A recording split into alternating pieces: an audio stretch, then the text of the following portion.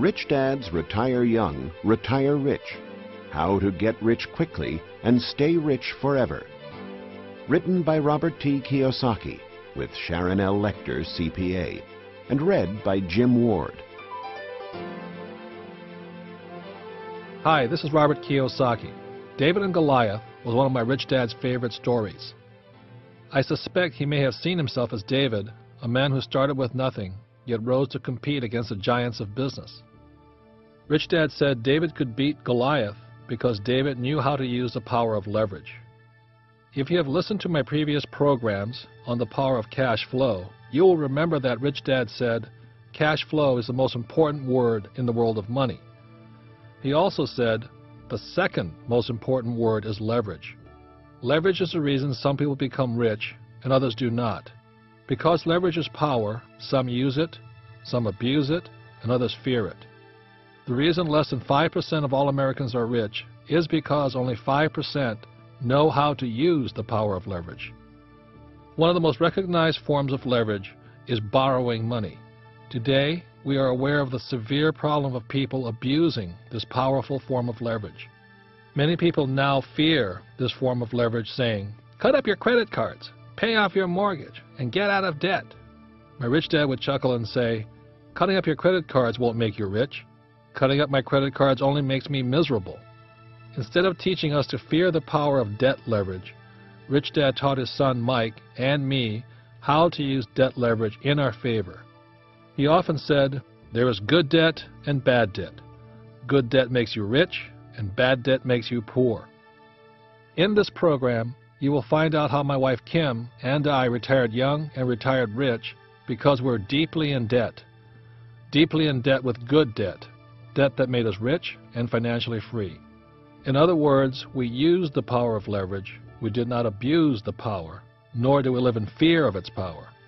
Instead, we respect the power of leverage and use it wisely and cautiously. During the hundreds of interviews I have given since the release of the first Rich Dad, Poor Dad book and audio program, I have been asked, Do you think everyone can be rich? My reply is yes. I believe everyone has the potential to be rich. This program will explain why I believe all of us already have the power and the potential to be very rich. It will also explain how my wife and I could retire young and retire rich even though we started without any money. And it will also explain why some people are rich and why others are poor even though we all have the power and the potential to be very rich and retire young. It's all a matter of leverage.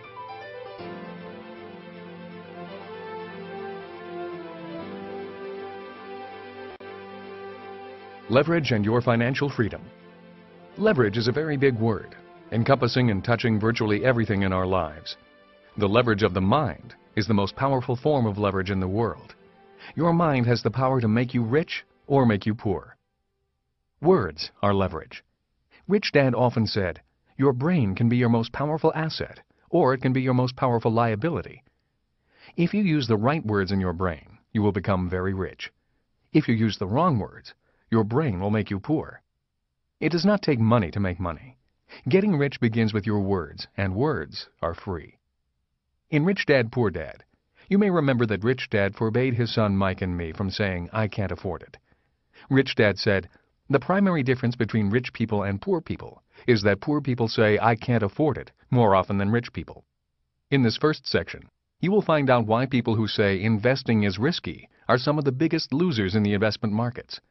Again, it goes back to words you will find out that what you think is real becomes your reality.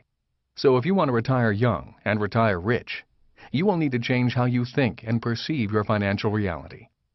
Later on in the program, you'll learn about planning for your new financial reality of being rich. And lastly, you'll learn what actions you need to take in order to make that new financial reality happen so that you can retire young and retire rich. The leverage of your plan. In order for Kim and me to retire young, we had to have a plan. A plan that started with nothing because we had nothing. The plan had an end or an exit and also had a time limit. Our time limit was 10 years or less. It took us nine years, retiring in 1994. I was 47 and Kim was 37.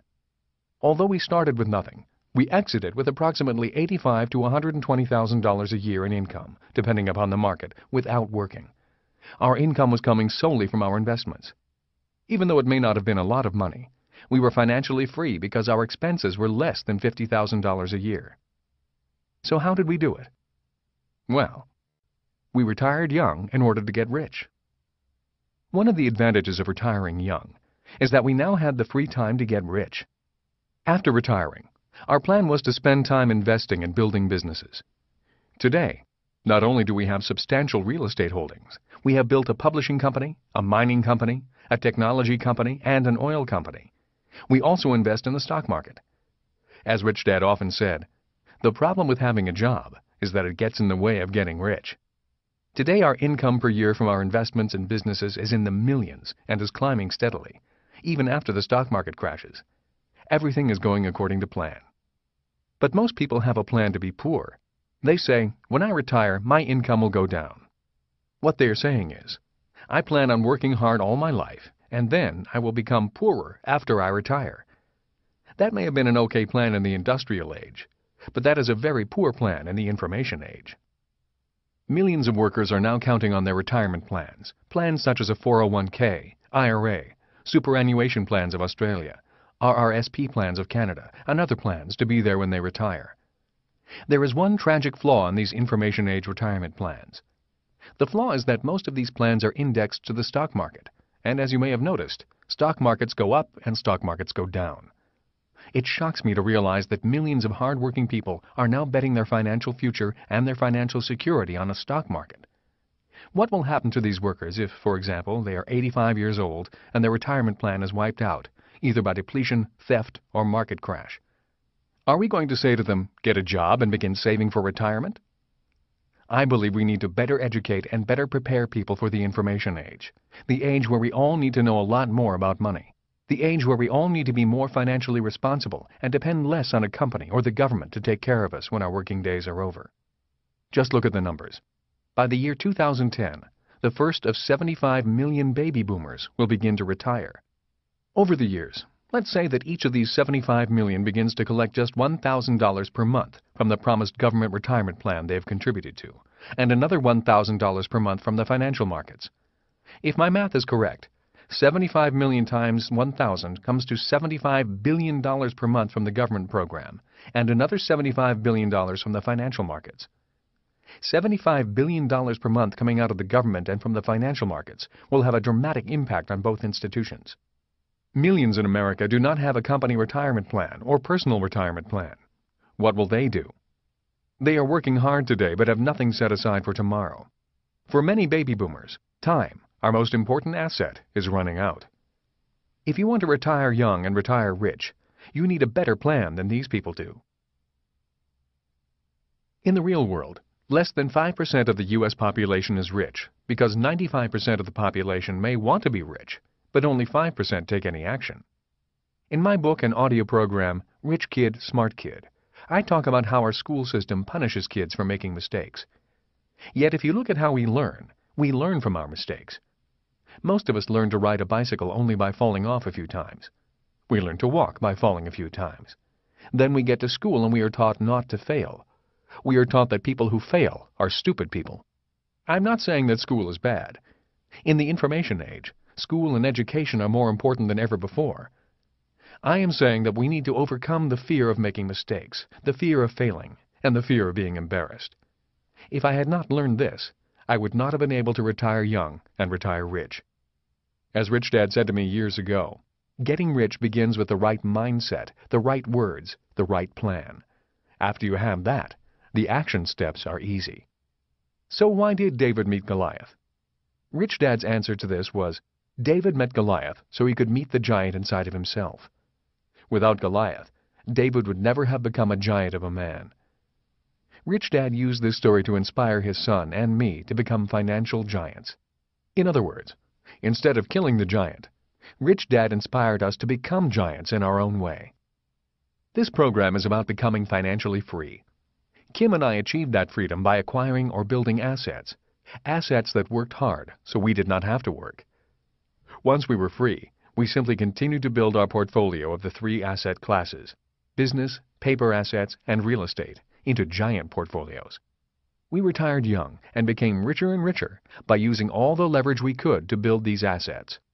Today, those assets produce more and more income while we work less and less. If you would like to do the same, this program is for you. It will assist you in finding your own financial freedom, freedom from the drudgery of earning a living.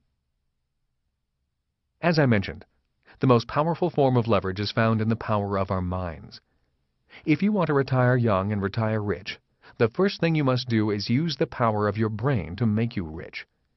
When it comes to money, too many people use the power of their brain to make themselves poor.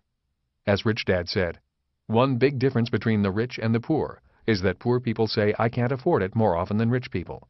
He also said, In Sunday school I learned, and the word became flesh. Poor people use poor words, and poor words create poor people. Your words do become flesh.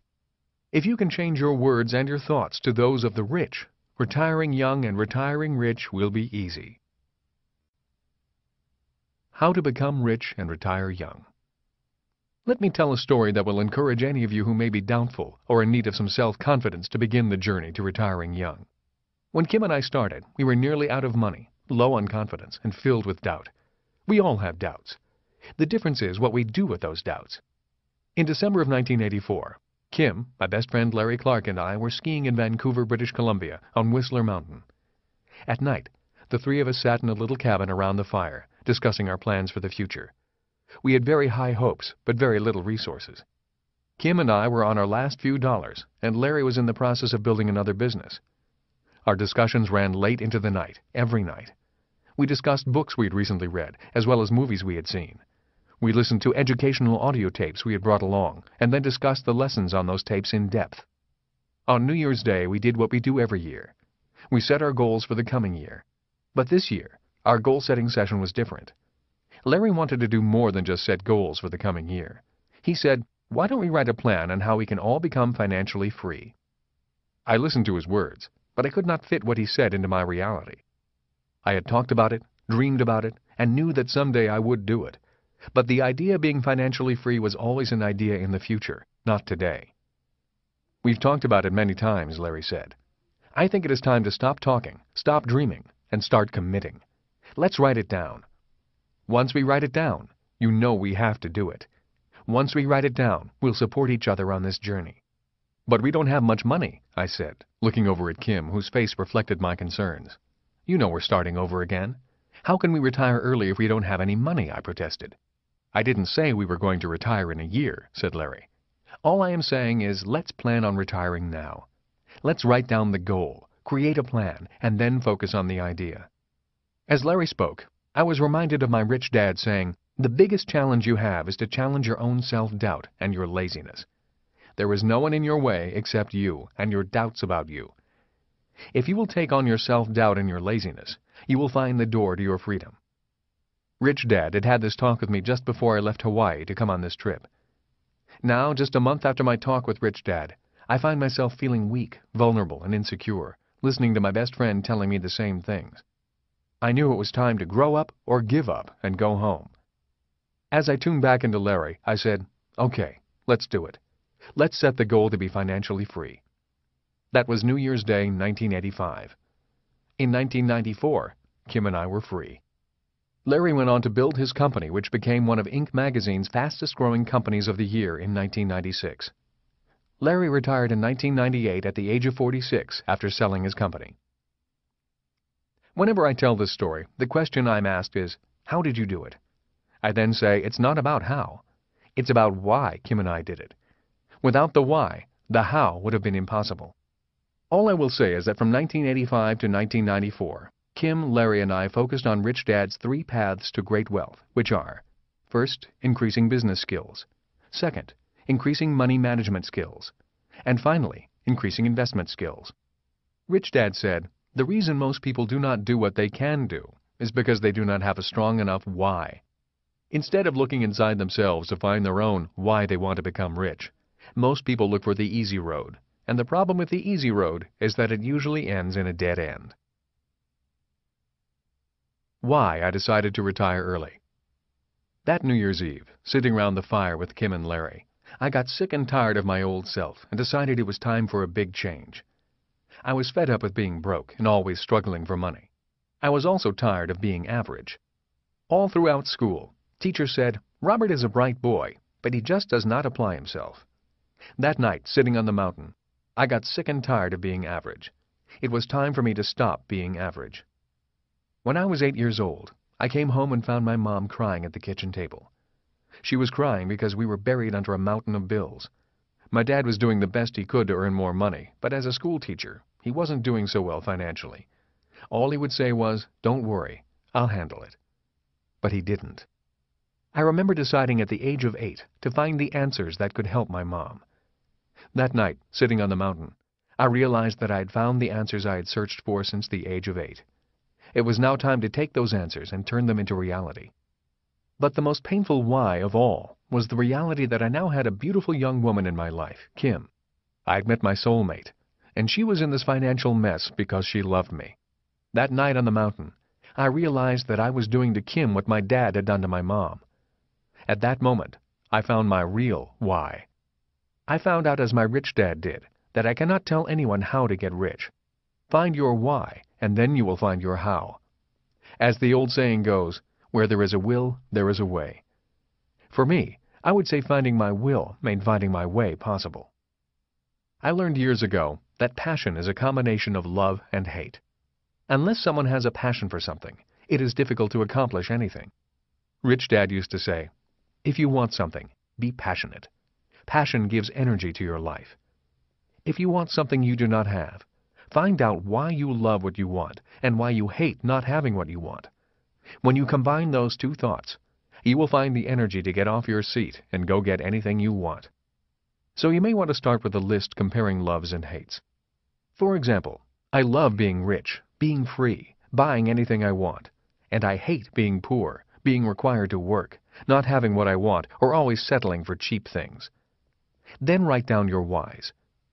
Write down your dreams, goals, and plans on becoming financially free and retiring as young as possible. Take a look at this paper on a regular basis. Talk about it often. Ask for support. Be willing to continually learn, and before you know it, things will begin to happen.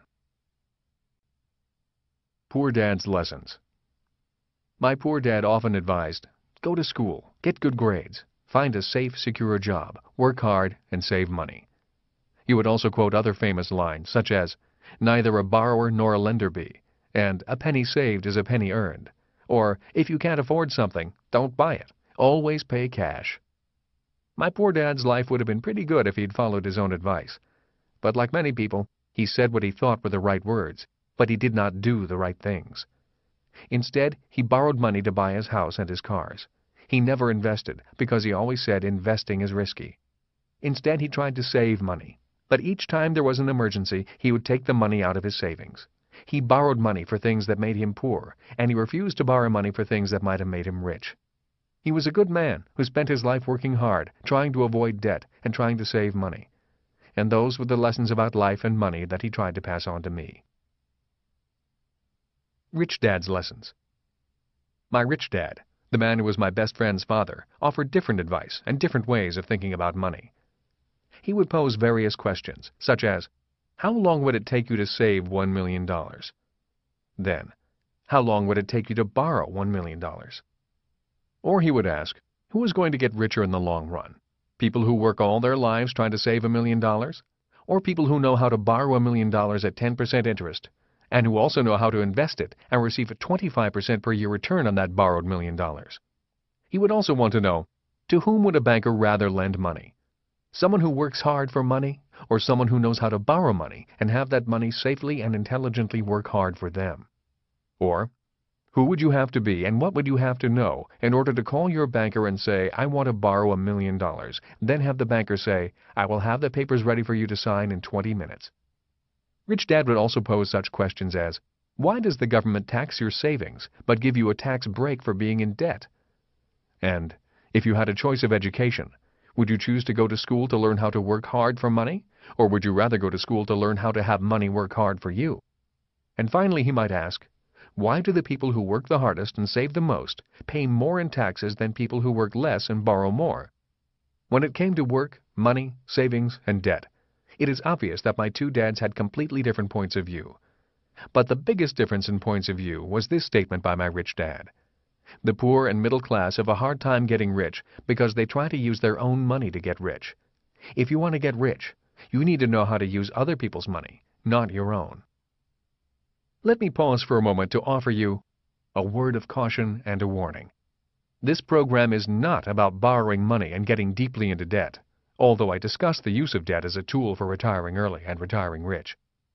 As I stated, leverage is power, and power can be used, abused, or feared. We should treat debt as we would a loaded gun, very carefully. Debt, like a loaded gun, can help you and it can kill you, regardless of who's handling it. Treat all debt as dangerous, just as you should consider all guns dangerous. Instead, let me remind you that this program is about leverage. Rich Dad would repeatedly say to his son and me, financial leverage is the advantage the rich have over the poor and the middle class. Financial leverage is how the rich get richer quicker. The problem with leverage, however, is that leverage is like a two-edged sword, which can cut in either direction. In other words, a person can use leverage to get ahead financially, and that same form of leverage, if misused, can be used to have them fall behind financially. One of the main reasons the middle class and the poor work harder, work years longer, struggle to pay off debt, and pay more in taxes is because they lack a very important form of leverage. And that is the leverage of financial education. So before you run out and borrow money to invest in assets, please know that debt is only one form of leverage and that all forms of leverage have a sharp edge on two sides. Regardless what form of leverage you use, I first recommend that you educate yourself on how to use whatever form of leverage interests you.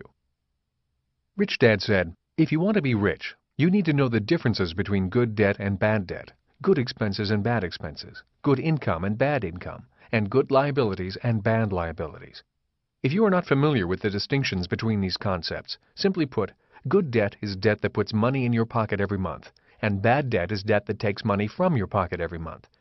For example, the debt in my apartment houses puts money in my pocket every month, and the debt in my residence, my mortgage, takes money from my pocket every month. If you work on increasing good debt, your chances of retiring young and retiring rich are greatly improved. But always remember to treat all debt very carefully. So how can you retire early? In the broad definition of the word, leverage simply means the ability to do more with less. When it came to the subjects of work, money, and leverage, Rich Dad would say, if you want to become rich, you need to work less and earn more. In order to do that, you employ some form of leverage. The good news is that more and more tools of leverage are being created today. Tools such as computers, the internet, books, audio programs, and more to come. But to get ahead in the financial world today, you may have to do away with obsolete leverage. People who use obsolete, out-of-date, or inadequate tools of financial leverage put their financial security and their financial future at risk. Today, millions of people are utilizing the financial tool known as the mutual fund to prepare for their retirement. While mutual funds are by no means obsolete, they are not the leveraged financial tools of choice of the more educated investor. If people want to retire young and retire rich, they may need to supplement their mutual funds with faster, safer, and more information-rich tools of financial leverage. It is ironic that the poor and the middle class think of the financial tools of leverage as too risky. Rather than utilize the financial leverage the rich use, the poor and middle class tend to use physical leverage to try and get ahead. Physical leverage is also known as hard work. The rich get richer primarily because they use the financial tools of leverage, and the poor and middle class do not at least not in the same way the rich use those same tools. Debt can be winner's leverage. It can also be loser's leverage. In my other programs and books, I talked about the use of debt to acquire income-producing real estate. In these examples, debt was my leverage. I can acquire much larger investments and get ahead faster than someone who simply works hard and tries to invest with their savings, otherwise known as equity. A person who knows how to use debt to acquire assets has superior financial leverage over someone who does not understand how to harness the power of debt. My rich dad said, the rich use debt to win financially, and the poor and middle class use debt to lose financially. But in order to use debt as a tool of leverage, a person needs to have more financial education. In the following sections of this program, I will offer ways to increase your financial education. But first, let me address some other forms of leverage. In addition to debt, there are other forms of leverage that Kim and I used to retire early on. I could not have acquired so many assets in such a short period of time if I had not used two different forms of financial leverage. OPM, other people's money, and OPT, other people's time. In addition, there are other important forms of leverage that you may not have even thought about that will influence your ability to gain your financial freedom. Your health, your time, your education, and your relationships can all assist you or hinder you in your goal to retire young and retire rich. Obviously, health is a very important form of leverage. All too often, people do not appreciate the value of their health until they begin to lose it. What benefit will early retirement serve you if you are too ill to enjoy it? Time is also an important leverage. Once people begin to fall behind financially, it is often difficult to find the time to get ahead in life. I often hear people say, he got lucky because he was in the right place at the right time. I think a more accurate statement is, he got lucky because he was educated, experienced, and prepared to take advantage of the opportunity when the opportunity presented itself. Education is an important form of leverage. The difference in earnings between someone who drops out of high school and a person who graduates from college can be measured in the millions of dollars when measured over a lifetime. Yet a person who graduates from college but has little financial education will often fall far behind a person who is financially educated, with or without a college education. Importantly, Leverage can also be found in your business and personal relationships. The following are examples of the leverage found in relationships. First, I have seen many people suffer because they work for a business that is run by incompetent owners or management. I have also seen people do very well financially because they associate with financially knowledgeable people. It is important to learn from both. Second, a labor union, such as the teachers union or pilots union, is a form of relationship leverage. A professional organization such as the American Medical Association can be a form of relationship leverage. Unions and professional associations are people with professional leverage that often bind together to protect themselves from people with strong financial leverage. And third, many people do well financially because they have excellent financial advisors. There are also many people who suffer financially because they have incompetent financial advisors. So the people around you can be a great source of leverage, positive and negative. Rich Dad used to say, Being rich is not so much what you know, but who you know. Take a minute to think about your relationships. Are they helping you gain your financial freedom? Finally, leverage can be found in your spare time. Many of the people I have met or read about became rich in their spare time rather than on the job. Hewlett Packard and Ford Motor Company were started in garages, and Dell Computers was started in a college dorm room. A friend of mine was a lawyer by weekday and real estate investor on the weekends. Today he's financially secure and donates his legal services for free to charitable organizations and plays with his kids or plays golf full time. He just turned 39. So I want to emphasize that there are many forms of leverage that you can use today to acquire and create assets to allow you to get ahead faster. If you want to retire young and retire rich, you need to find the leverage that works best for you. The importance of the word and. One definition of leverage is the ability to do more with less. Rich Dad added to that definition by saying, leverage is the ability to do more and more with less and less. Rich Dad explained further by saying, the rich keep adding more and more leverage, which is why they get richer and richer. The poor and middle class stop adding more leverage. The point at which you stop adding more leverage defines your financial station in life. For many people in the middle class, their academic and professional education is where their education stopped. The rich do not stop there. They add more leverage by adding financial education to their list of more and more leverage. The people falling behind today include those who have gained some form of leverage but are failing to gain more. As Rich Dad used to say, a college degree does not entitle you to stop learning or to stop increasing your leverage.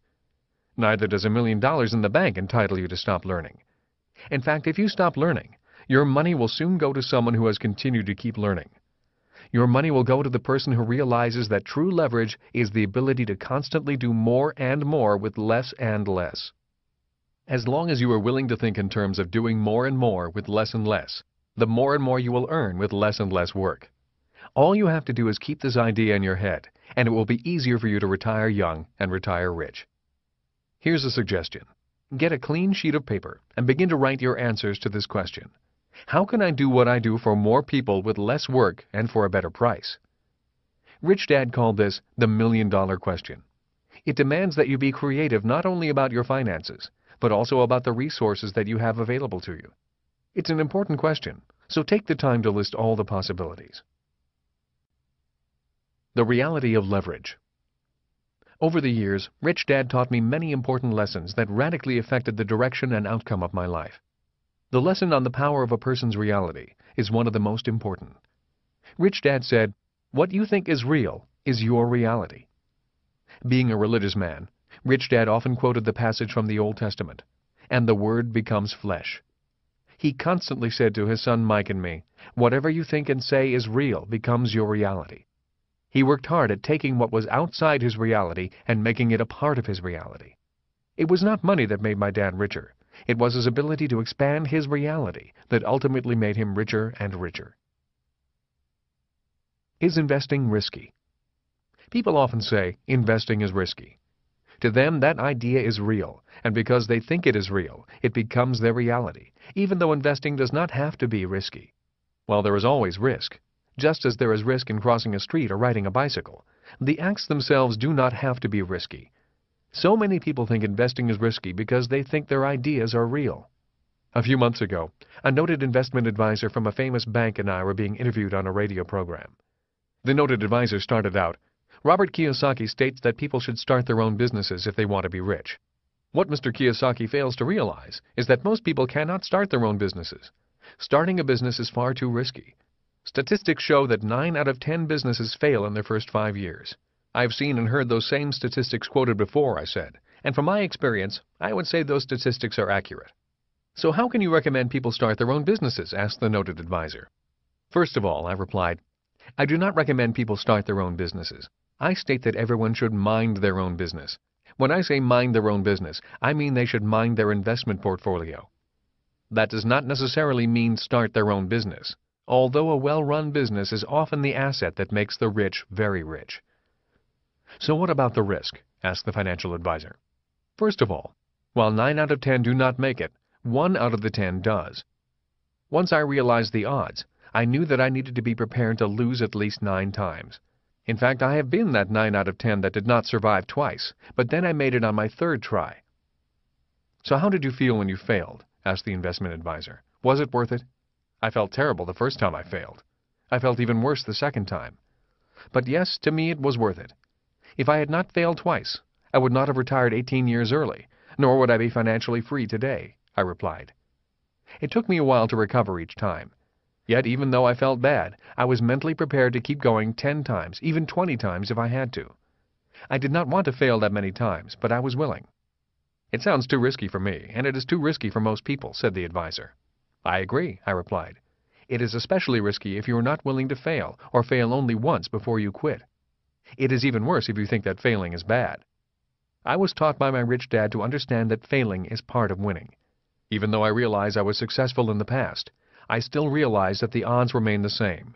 Every time I start a business, I continue to be aware that 9 out of 10 do fail. Why do you say that? asked the commentator. Because I always need to remain humble and respect the odds. I have seen too many people build a business, make a lot of money, get cocky and start another business thinking the odds are now in their favor. While their odds may have improved a little because of their past experience and success, we all need to be humble enough to know that the odds remain 9 out of 10 for all startup businesses. I still think it is too risky, said the advisor. Most people are not prepared to run their own business. There is some truth in that statement also, I replied. Yet I will remind you that less than 100 years ago, most people were small independent business people people were strong enough to run their own businesses in spite of the risks. It was only until people like Henry Ford began building mega businesses that more and more people became employees.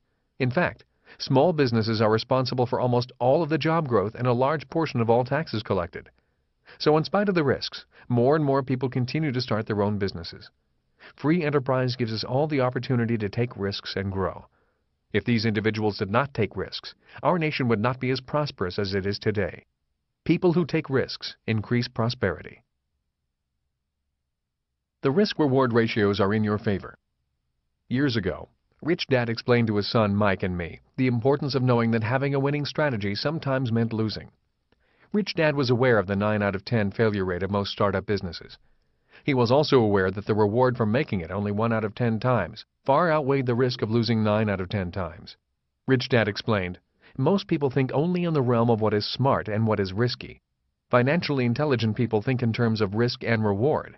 In other words, financially intelligent people weigh the risks and they weigh the rewards. If the rewards are great enough, they will come up with a strategy or a plan that will increase their chances of success regardless of how many times they lose before they will win. A winner's strategy.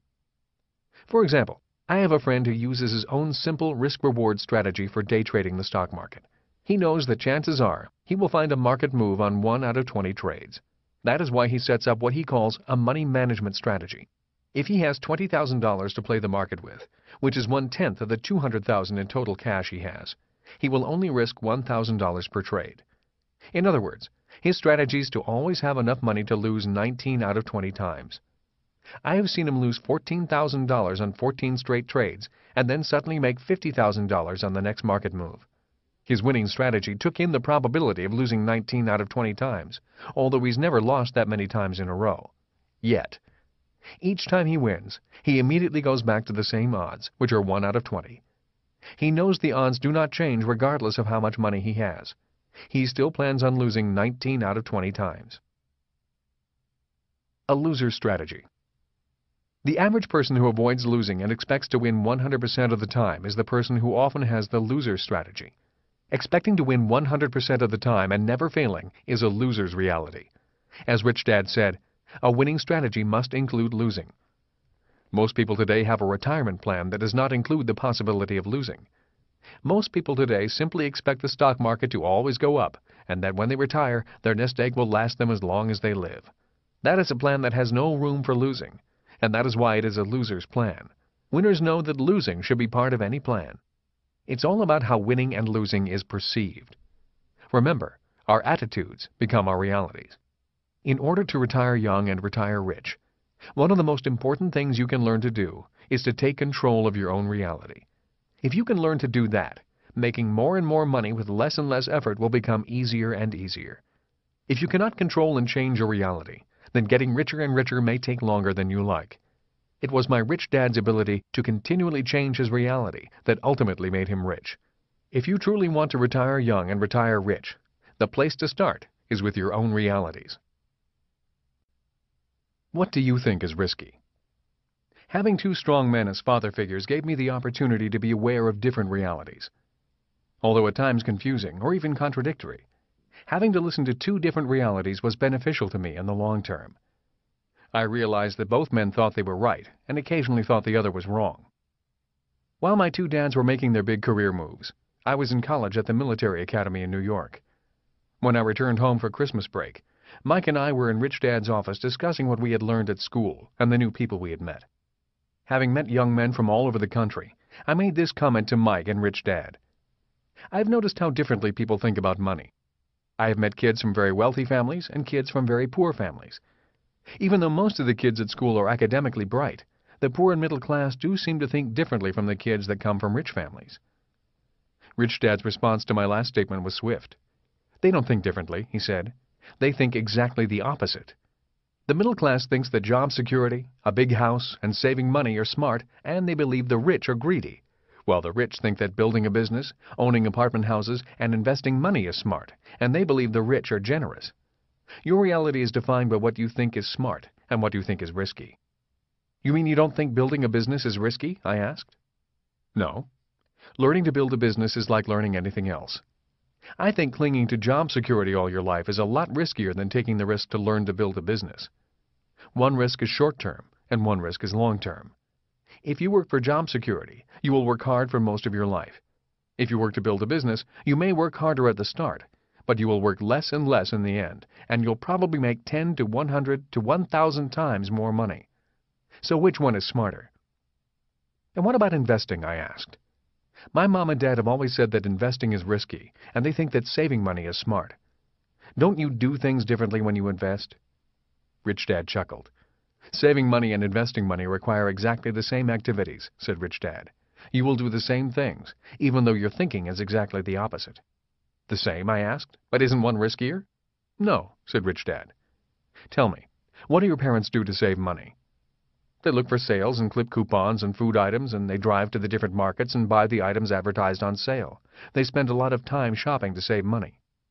I do exactly the same things your parents do, but I shop for investments that are on sale to fill my portfolio. And my parents shop to fill their freezer, I said. You do the same thing, but my parents get poorer and you get richer. You're getting it, said Rich Dad. It is their reality, their thinking that causes them to be poor middle class, not their activities. It is what we think is smart and what we think is risky that determines our socioeconomic standing in life, I said. Yes, we do the same things but operate from a different mindset, Rich Dad said. That is why you have always said, what you think is real is your reality, I added softly. That is correct, Rich Dad said. But what about the rich are greedy and the rich are generous, I asked. First of all, you do not have to be rich or poor to be greedy or generous. The world is filled with poor people who are greedy, just as there are poor people who are generous, and vice versa, said Rich Dad. Do you remember me telling you boys about doing more and more with less and less? Rich Dad asked. We both nodded to his question. Well, doing more and more with less and less is one form of being generous. In fact, the easiest way to become rich is by being generous, said Rich Dad. You mean to become rich by serving more people, said Mike. That is correct, Rich Dad said. Any time I want to earn more money, all I have to do is ask myself how I can serve more people. Mike then turned to me and said, My dad has never said this in front of you, but I think you are ready to hear his next lesson. Your dad has always told you that the rich are greedy, isn't that true?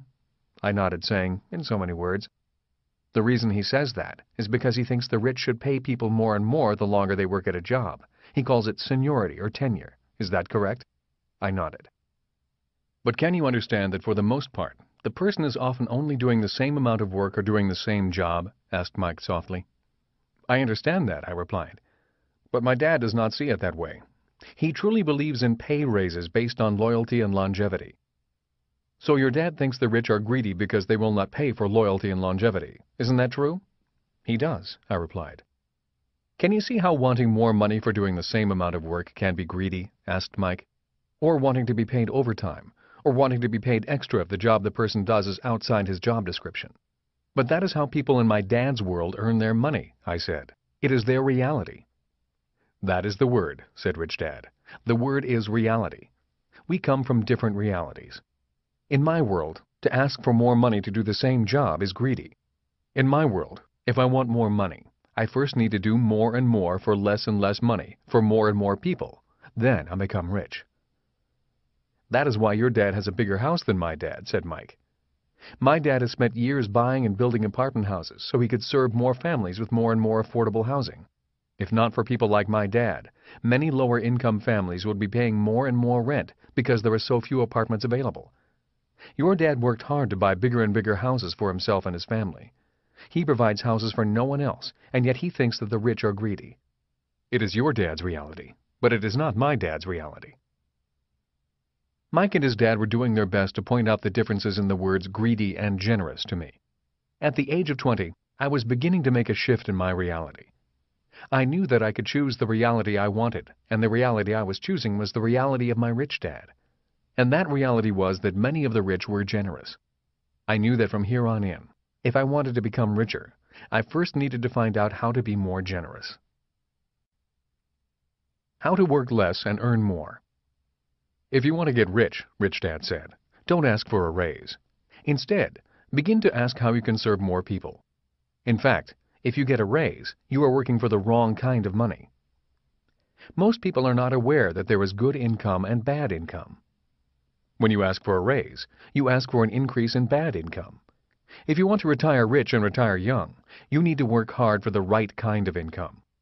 In earlier programs, I discussed the three different types of income which are, first, earned income, income that comes in the form of a paycheck. It is also the type of income you ask for more of when you ask for a raise, bonus, overtime, commissions, and tips. Second, portfolio income is generally income from paper assets such as stocks, bonds, and mutual funds. A vast majority of all retirement accounts are counting on portfolio income in the future. And third, passive income is generally income from real estate, It can also be royalty income from patents or for use of your intellectual property such as songs, books, or other objects of intellectual value. In Rich Dad's mind, the worst kind of income to work hard for was earned income for four main reasons. 1. It is the highest taxed income, and it is the income with the fewest controls over how much you pay in taxes and when you pay your taxes. 2. You personally have to work for it and it takes up your valuable time. 3. There is very little leverage in earned income. The primary way most people increase their earned income is by working harder. 4. There is often no residual value for your work. In other words, you work, get paid, and then have to work again to be paid again. Again, to Rich Dad, there is very little leverage in working for earned income. Why Rich Dad liked passive income. Although he did receive all three types of income, if given the choice between the three, he would take passive income all the time. Why? Because it was the income he had to work the least for. It is often the least taxed, and it earned him some of the highest returns consistently over a long period of time. In other words, he worked hard for passive income because in the long run, he worked less and less, served more and more people, and earned more and more the older he got. Kim and I were able to retire early because our plan had us working hard for passive income, not earned income. Another difference is that we planned on retiring with more passive income and not portfolio income. While most people retire on portfolio income, it is not always the best because it is the second highest taxed of the three incomes, and taxes are your largest single lifetime expense. My rich dad had all three types of income. The reason he had all three was because each type of income had different advantages and disadvantages. Let me explain. 50% money. Rich Dad often called earned income, the income you receive from a paycheck, 50% money. The reason he called it 50% money was because no matter how much money you earned, the government always took at least 50% of it or more in one way or another. If you make $50,000 a year today, then at least $25,000 may go to the government, most of it before you even get your hands on it, through withholding. Even after you receive that remaining $25,000, the taxing continues on. As most people know, you are taxed when you earn, spend, save, invest, and when you die. From Rich Dad's point of view, it was not very smart to work hard and have the government take at least 50% of what you worked hard for. 20% money. Most people today are attempting to retire utilizing what my rich dad called 20% money, which is money from capital gains or appreciation of stocks and sometimes real estate. 0% money. One of the reasons Kim and I retired early was because we utilized tax-deferred money, what my rich dad called 0% money. Tax-deferred money is money from capital gains that is not immediately taxed. It is deferred for as long as we choose to defer paying those taxes. For example, we put down $5,000 and purchased a house for $50,000. Two years later, we sold it for $100,000. We had a capital gains consequence of $50,000, but we chose not to pay the 20% in capital gains, which would have been approximately $10,000. Instead of paying the capital gains tax, as you would if you had made the same amount from a stock or mutual fund, we deferred our gains and rolled $55,000, which was $50,000 in gains plus our original $5,000 down payment, into our next investment. In other words, we had a 1,000% return in two years and paid no immediate taxes. We legally deferred our taxes and used what was technically the government's money as a down payment on a larger apartment house for $330,000. We then used the bank's money and some of the seller's equity to help us finance the remaining $275,000 we did not have. Not only did we use OPM, other people's money, we used government money to help us retire rich and retire early. Between 1988 and 1994, we utilized this investment and tax strategy many times. The reason the government allows these tax incentives is to keep the real estate industry vibrant and help the nation's economy stay strong, since real estate makes up a large sector of the U.S. economy. Tax-free money. There are many ways to earn tax-free money. One way is to invest in tax-free municipal bonds. An example would be a person who puts $1,000 in a tax-free bond at a 5% interest rate. That means that each year this person will receive $50 tax-free. While it may not sound exciting, there are many times when such a return is desirable. Tax-free money from 0% money. Another way of deferring taxes is by taking the depreciation from the improvements on your property. For example, let's say I buy a $100,000 rental property. The land is valued at $20,000 and the building is valued at $80,000. The government allows me to depreciate the building and not pay taxes on the amount of that depreciation. Let's say the government allows me to take a 20-year depreciation schedule on the $80,000 improvement. In many ways, that offsets $4,000 of extra income I do not have to pay taxes on in that year. When your portfolio is in the millions of dollars, that amount in just depreciation, when combined with other losses that are not really losses, can be significant. One method the rich use to legally receive tax-free money is to simply keep deferring their real estate capital gains and then at the end of their lives roll that real estate into something like a charitable remainder trust. The moment they do that, they may never have to pay tax on all the capital gains or depreciation they deferred and used for much of their lives. Competent advice. When making any financial decisions involving these issues, my best advice is to seek competent advice. I am not a tax attorney, a tax accountant, or an estate attorney. These are highly specialized and complex areas of law that require the best advice you can find, especially if you are rich or plan on becoming rich. As Rich Dad often said, the most expensive advice you can receive is free advice. It is advice from your friends and relatives who are not rich and have no plans on becoming rich. But remember, not only can you receive bad advice from friends and family, you can also receive bad advice from so-called professional financial advisors, bookkeepers, accountants, and attorneys. So choose your team wisely. The best loophole of all. The best way to earn more and work less is via owning your own business. It continues to be the best loophole in the world. An employee today pays for many of life's finer things with after-tax dollars. For example, most employees have to pay for their car with after-tax dollars. A business owner is allowed to pay for his or her car with before-tax dollars if it is used for business and meets certain requirements. When you are working for 50% money, your car can be far more expensive than your boss's car, even though your car costs less. Even such things as football tickets, trips or dinners, daycare for your kids, and other benefits can often be purchased with before-tax dollars if they qualify as legitimate business expenses, and they may be subject to limitations. A word of warning. This program is only to make you aware of some of the differences in income. I caution you because it is legal to reduce taxes as long as you use these tax strategies in the pursuit of making more money. If you utilize these same strategies only to minimize taxes, then you are technically breaking the law. This is a very important point and is why I recommend you seek the best tax advice possible. As you look the numbers through, you might find that the price of job security is very expensive. Even if you have a steady job and a 401k, you might be losing out. The problem with the 401k. Although I recommend that everyone have and maximize contributions to a 401k if they qualify for one, there is one major flaw I see in it. The flaw is that although you save your money in it, and it hopefully grows free of the 20% capital gains tax, when you withdraw it at retirement time, you are taxed at the 50% tax rate of earned income. Even though you believe you are investing in portfolio or 20% money, when you cash in, you are still taxed at earned income rates. The second problem with the 401k is that it only works for people who are planning on being poor. If your income remains high after you retire, you continue to pay higher taxes on your retirement money because your income went up, not down. Similarly, the problem with Social Security is that it only works for people who want to be poor. If after you retire and you find that Social Security is not enough for you to live on, and you go to work for earned income, the government will begin reducing your Social Security payments. In other words, the only way to receive a full payment is to choose to be poor in most cases. So what if you simply save your money?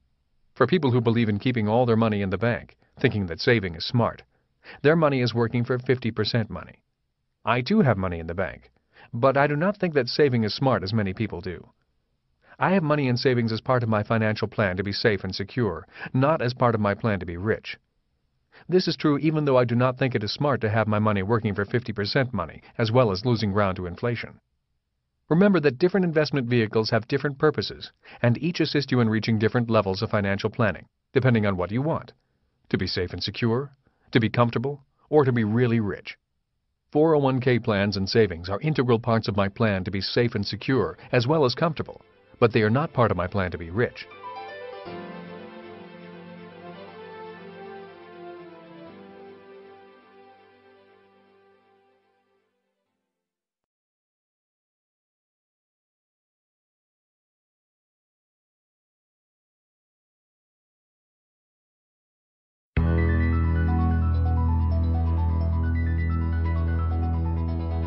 How you can earn more tax advantaged income. By simply starting a small home-based business, buying a franchise, or joining a network marketing company, you are moving into a more tax-advantaged income. If you can reduce the cost of some of your expenses just by utilizing tax-advantaged dollars, you are getting ahead financially. The reason Kim and I retired early was because we worked hard to build businesses and buy real estate. That plan allowed us to work less and less and earn more and more. We did not work for money. We worked hard to build, buy, or create assets, as my rich dad had advised. To us, working at a job was not smart, and in the long run, it was much more risky. Here's a suggestion. List how much you currently earn a month from earned income, passive income, and portfolio income. If you want to retire, you will need passive and portfolio income in most cases. The sooner you learn to acquire passive and portfolio income, the sooner you are on your way to retiring rich and retiring young. Not only will you be able to retire earlier, you may also feel more financially secure and smarter, since you will be earning 20% or even tax-deferred income rather than 50% income, which is the type of income most people are working so hard for. The fastest way to get rich quick. Rich Dad would say, there is plenty of money in the world. If you want to be rich, you need to first expand your reality, your context, in order to get hold of your share of that abundance.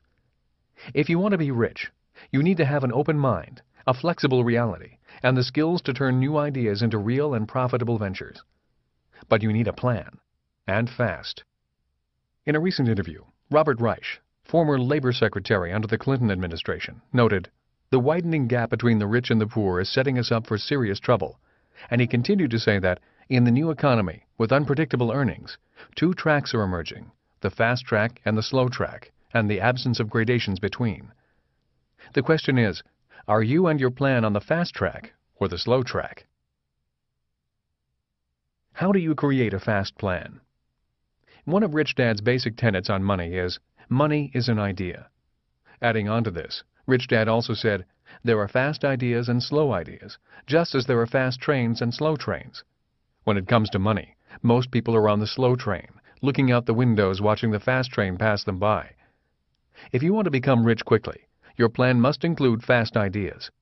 The following are some ideas on how to begin to build and develop a faster plan. Choose your exit strategy first. I'm often asked, how do I begin investing? Or what should I invest in? My response to their question is another question. What is your exit strategy? And sometimes my second question is, how old do you want to be when you exit? In other words, before you get into investing, you need to first know how, when, where, and with how much you want to exit. This is an important investment fundamental. How much will you have when you stop working? Using the benchmark of age 65 as when most people plan on retiring, or exiting, the question is, how much income do you want when your working days are over? A number of years ago, the U.S. Department of Health, Education, and Welfare tracked people from age 20 to 65 and found that by age 65, for every 100 people, 36 were dead, 54 were living on government or family support, 5 were still working because they must, 4 were well off, and 1 was wealthy. Looking at these statistics, the unfortunate reality is that only one out of 100 Americans will reach the affluent level, $100,000 to $1 million per year, or higher when they exit the workforce. One reason for this is a slow financial plan without a clearly defined exit strategy. When I am asked, can I get to the affluent level on the slow train? My answer is yes. You can get there with a safe, secure, high-paying job, but you must begin investing young Live frugally, invest a large portion of your income, hope that the market does not crash, and be willing to retire after age 55. There is a price for using this plan of job security and frugality to reach the affluent level.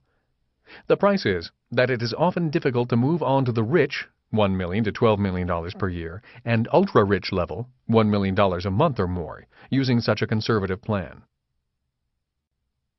Take the fast train. If you are starting life with very little, as I did, and want to retire young and retire rich at the rich or ultra-rich levels, you will most likely need to forsake job security and take the fast train. In order to take the fast train, a person will need an open mind, high-speed ideas, better business and investment education, and a faster plan. These people will need to operate from a different mental context and content than that of the masses. People who use the job security and long-term investment plan to reach the affluent level often arrive without the content, context, and capacity to handle the rigors of the rich and ultra-rich levels. As my rich dad said, there is more to being rich than having a lot of money. My wife Kim and I decided to exit the rat race of life at the affluent level. That was our goal. Once we decided on our goal, in 1985, we worked backwards and developed our exit strategy, our investment plan, and then, and only then, did we determine our entry strategy. Once we had our exit strategy, we knew what to do and where to begin. For us, it was to ride on the fast train to build a business and invest in real estate. The hard work, lack of job security, and following the rigid schedule riding the fast train paid off. It took nine years from the time the plan was created until we achieved our goal. Because our investments brought us more than $100,000 in passive income per year, we were able to move on to the rich level simply because we had time, money, and the basic qualifications to move on to the next levels. We went from the affluent level to the rich level in five years. Next up is the ultra-rich level of residual income. If things go as planned, that should take three years. In theory, our basic plan through all levels was simple. It was to build businesses and invest in real estate. Today, we continue to build businesses and invest in real estate. While the plan has remained simple, what has increased is our education and experience. It is this education and experience that allows us to increase the speeds at which we build businesses and buy real estate. In other words, we made mistakes, corrected, and learned. By making those mistakes and learning, what has changed is the size of our context, our content or knowledge, our capacity to handle larger projects and dollar amounts, and the speed at which we process these larger and more complex facts and figures. Taking the fast train gave us different business and investor qualifications than those reaching the affluent level using the slow train. How to see the future. On a flight from London to New York, I sat next to a high-level executive from IBM. After we had leveled off and we got to know each other, I asked him, How do you prepare for the future? His reply was, If you want to see how the world will be in 10 years, just watch a 15-year-old boy or girl. Observe the world from their eyes, and you will see the future. If you can let go of your vision of the world and actually see the world from a younger person's point of view, you will see a much bigger world, a world filled with tremendous change and an abundance of opportunities yet to come. There are business and investment opportunities coming that will create bigger fortunes than the automobile did for Henry Ford, oil did for John D. Rockefeller, computers did for Bill Gates, and the Internet did for the young founders of Yahoo, AOL, and Netscape. I then asked, Will we soon see a high school teenager become a self-made billionaire? His reply was, I'd bet money on it. If you are not rich today because you missed the last boat leaving the dock, do not worry.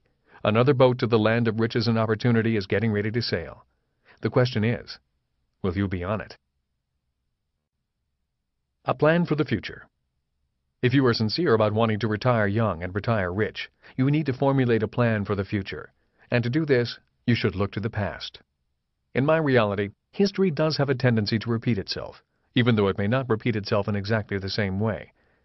Many adults miss the future, or are run over by the future because their plans for the future have no vision of the past. In 1998, I was talking to a young reporter in San Francisco who was just out of college. When I told her that mutual funds were risky and that I could see a crash coming, she became very angry. She then began quoting to me words and ideas her stockbroker had said to her. The fund I am invested in has been the top-rated mutual fund for three years running. It has gone up by an average of 25% each year. The stock market is the best investment because even though there are dips in the market, as there was in 1987, the market has gone up consistently for 40 years it is the best place to invest your money. Today, her sacred funds are down over 50%. While her facts and data are somewhat accurate, the problem is her data does not go far enough back in time. If she knew her history of markets, she would know that we have a depression every 75 years on average. While this does not mean we will have a depression every 75 years, that little bit of ancient history does explain why the market has gone up over the past 40 years. The last market crash and depression was in 1929. It took the market approximately 25 years to recover to 1929 levels, or to year 1955. I was talking to her in 1998, and so her facts were accurate that the market has gone up for 40 years. Her view of the future is hindered because her view of the future does not include enough of the past. One of the things my rich dad had me do was read books on economic history. A great book I recommend people read if they want to understand the future is the book entitled The Worldly Philosophers by Robert Heilbroner. It is a great book for anyone wanting to see the future by studying the past. When I teach my investment classes, I have people fill out a financial statement. I then have them look at their past and ask them if what they also see is their future. If they do not like what they see, I advise them to begin to get unfrozen, get hip, throw out your old clothes, update your wardrobe, change your old friends, and begin to see the future. And above all, change the way you think about money. If you can change your context to be excited about the opportunities in the future, you have a better chance of retiring young and retiring rich. Seeing a rich future. Assuming that the poor earn $25,000 or less per year, the middle class makes $25,000 to $100,000 per year. The affluent $100,000 to $1 million per year. The rich $1 million or more a year. And the ultra-rich $1 million or more a month. Many people cannot imagine a financially free future with $100,000 or more a year coming in without working. The reason many people cannot imagine having that much money is because they do not have it in their reality. Many people may dream of such dollar amounts and may say that someday they will make that much, but in reality, most people are just dreaming. The statistics verify this reality. The harsh reality is that 99% of the U.S. population will end up making just above the $25,000 mark, somewhere between $25,000 and $50,000 a year after they retire. Most will follow in their parents' footsteps. Rich Dad always said, Your future is created by what you do today, not tomorrow. A plan is the bridge to your dreams. Your job is to make the plan or bridge real so that your dreams become real. If all you do is stand on this side of the bank and dream of the other side, your dreams will forever be just dreams. First make your plan real, and then your dreams will come true. Between 1985 and 1994, Kim and I worked on making our plan real rather than dreaming of our dreams. We practiced every day, preparing for the day when our window of opportunity would appear. Once it appeared, we took our shots and then the window closed. As Rich Dad said, your future is created by what you do today, not tomorrow. One of the first steps in changing your financial future is to stop doing today what you do not want in your future. Start asking yourself how you can learn to work for passive and portfolio income. Once you come up with some answers, make those answers a part of your plan. It may mean studying more, reading more books, listening to tapes, attending more seminars, starting a home-based business and meeting new friends. In other words, do today what you want for your tomorrows. How do you see the future? I am also often asked, how do I see the future if I cannot see it with my eyes? The answer is found in something my rich dad said to me years ago. Sight is what you see with your eyes. Vision is what you see with your mind. When I asked Rich Dad what improved a person's vision, he said, words and numbers. He stressed the importance of learning how to read financial statements, because you could not see your financial future if you could not read financial statements. In fact, if you cannot read a financial statement, you cannot see your financial past, present, or future. I created the cash flow games to assist people in improving their mind's vision by teaching them the numbers and vocabulary of rich people. One thing that has worked for many people is to get a group of friends together to play Cash Flow 101 on a regular basis. Once you have Cash Flow 101 mastered, you may want to teach it to others and inspire them to take action. And, or you may want to move on to Cash Flow 202, the more advanced game. The reality is, the more you play the game, the more you teach the game, and the more you make the game a part of your life, the better your vision of the future will become. Fast words for fast plans. If you want to create a fast plan, you need to learn to use fast words. When it comes to money, millions of people use word tools that are slow and antiquated. Rich Dad said, words are tools for your brain.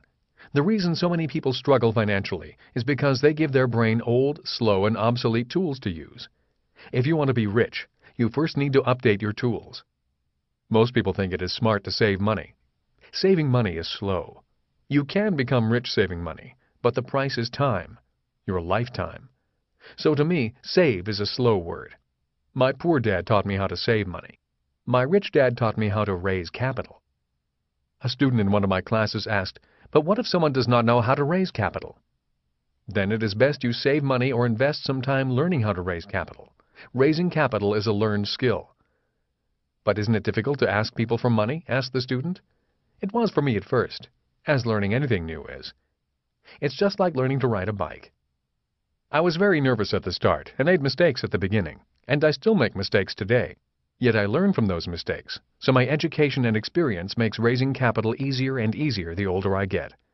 So while I struggle to save a $100 a month, you can raise millions of dollars in the same time, another student chimed in. That is what you mean by words are tools, and that some words are fast and others are slow. I just nodded and said, words are tools for your brain. Plan to use faster words. If you are creating a plan to retire young and retire rich, you may need to update your vocabulary, and if you change your vocabulary, you may speed up your ideas. For example, if you use the words high-paying job, these are slow words, and cash flow are fast words. My poor dad always advised, get a high-paying job. My rich dad always advised, you want cash flow from assets. See the difference. Finding a high-paying job may seem like the fast way to get rich at the start, but in most cases it is the slow way to become rich in the end. Few people ever became rich via a job, even a high-paying one. Cash flow from assets is better than income from a job. As Rich Dad said, there is more to being rich than having a lot of money. The rich use a different set of words, and those words guide them to different life experiences. Experiences such as learning how to raise capital rather than save money. The words save money are slow words, while the words make money are fast words. In principle, as long as there are a ready market of buyers and sellers for whatever you may produce, then you are, within this context, making money. My books and audio cassettes are a form of making money.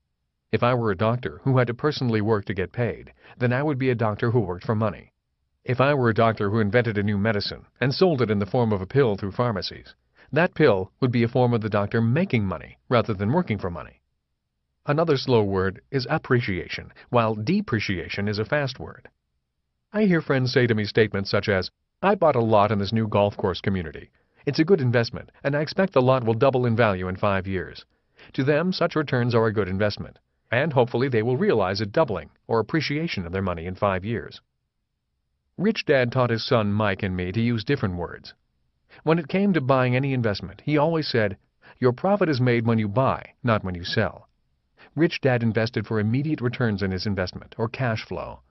He also invested for a thing he called phantom cash flow, aka depreciation. He loved immediate cash flow and depreciation because he did not have to wait for his investment to appreciate in order for him to make money. He would say waiting for a stock or piece of real estate to appreciate in value was too slow and too risky. If you use the words avoid risk, these are slow words. But if you say gain control, these are fast words. Rich Dad told me, in order to be a player on the fast track, you will need to have a plan on how to gain more and more control. On the fast track, it is control more than money that counts. Considering risk versus control, Rich Dad said, the more a person seeks security, the more that person gives up control over their life. Today I see two worlds evolving. One world is the world I call the responsible society. It is the group that believes in being responsible for their lives and the ultimate outcome of their lives. There is another world that I call the victim society, which is the group that believes that someone else, a company, or the government is responsible for their lives. In any group, family, or company, there are usually both types of societies. Both see the world from their own context or reality, and both seem to think they are right. I have found that one of the dividing factors between both societies is their core view on the ideas of risk versus control. Victims tend to want to give control over their lives to someone else in order to avoid taking risks. Then they get angry when they feel someone abuses the control they granted the abuser in the first place. In other words, victims are often victims of themselves. Mutual funds are also slow words. 506 Regulation D are fast words. The reason I say that mutual funds are slow is because the big profits or appreciation in any paper asset is made at the formation of the company, prior to the company going public. When rich investors begin investing in the share of a company, they are often investing according to the terms and conditions spelled out by the Security and Exchange Commission, SEC's Regulation 506D, and other such regulations. In other words, the rich invest in shares of a company when the company is still a private company. The public invests in shares of a company after it becomes a public company. The differences can be enormous. For example, If you had invested $25,000 in Intel prior to it going public, that $25,000 might be worth more than $40 million today, depending on the ups and downs of the stock market.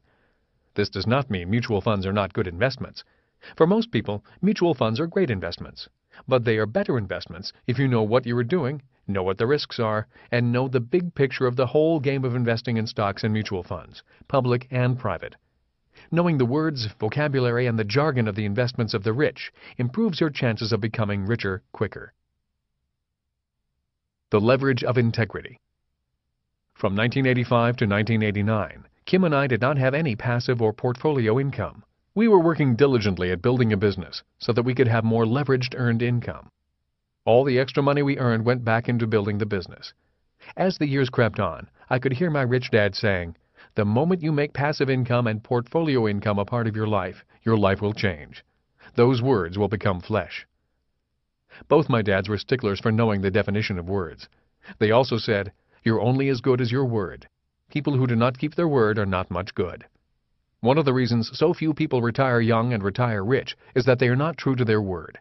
They use words that to them are not real. If you want to change your financial future, one of the most important and inexpensive steps you can take is to know the definitions of the words you use seriously. Some of the more basic, fundamental, and important words to understand are your personal current ratio, quick ratio, liquidity ratio, debt to earnings ratio, as well as the difference between assets and liabilities, and earned, portfolio, and passive income. All of these words are defined and explored in my previous books and audio programs, particularly Rich Dad's Guide to Investing and Rich Kid Smart Kid. Harnessing the Power of Words Why are words important? Simply because the concepts behind them can be useful to you and your life. For instance, understanding basic ratios, such as debt to equity or liquidity ratios, can help you in gaining your financial freedom. Let me explain. A useful ratio is your debt to equity ratio. For example, if you have long and short-term debt of let's say $100,000 and you have $20,000 in equity, then your debt to equity ratio would be 5 because you need to divide 100,000 by 20,000. The question is, what does this mean? Well, in reality, it means very little. Yet if next month your ratio is 10, that might tell you that you could be mismanaging your life. A debt to equity ratio of 10 could mean that either your debt has gone up to $200,000 or your equity has dropped to $10,000. In either case, those numbers have more meaning because they are real numbers that relate to your life. As Rich Dad said, mind your own business and knowing these simple ratios are excellent tools for teaching yourself how to mind as well as manage your own business, the business of your life. One of the ratios Rich Dad had me watch and monitor was what he called the wealth ratio. His wealth ratio was passive income plus portfolio income to total expenses. The goal of calculating your wealth ratio was to have your passive and portfolio income equal or exceed your total expenses. This would mean you could quit your job, earned income source, and still maintain your lifestyle. Once your passive and portfolio income exceed your expenses, the ratio would be 1 or higher, and you would be out of the rat race. Kim and I knew the definitions of the words passive and portfolio income, and we knew we wanted them in our lives. But for five years, we did not have these two types of income. Suddenly after the 1987 stock market crash and the seven-year recession began, we knew that the window of opportunity had arrived. It was our time to make the words real it was time to have a wealth ratio that was more than zero. We bought our first property in 1989, and by 1994 we had a little over $10,000 in passive income a month, and our total expenses were less than $3,000 a month. So, 10,000 divided by 3,000, that gave us a wealth ratio of 3.3. Today our wealth ratio is over 12, even though our expenses have gone up significantly. That is the power of making the words a part of your life.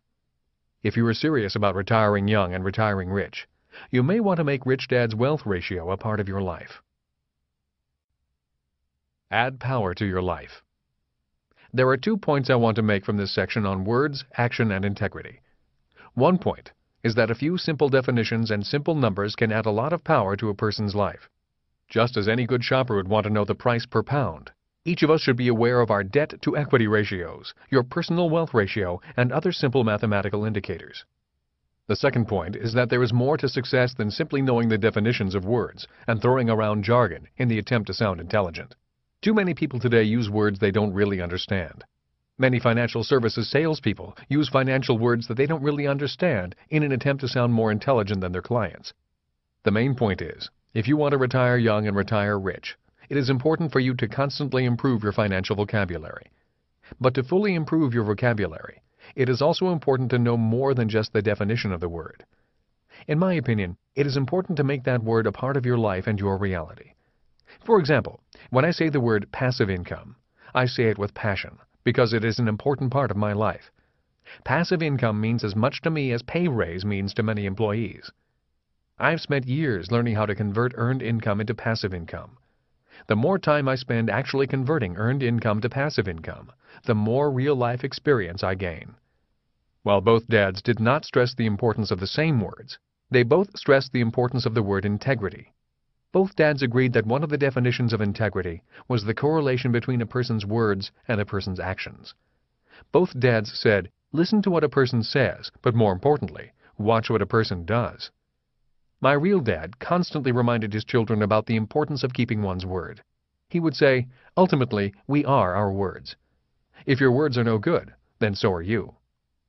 That is why he also said, never make promises you don't plan to keep.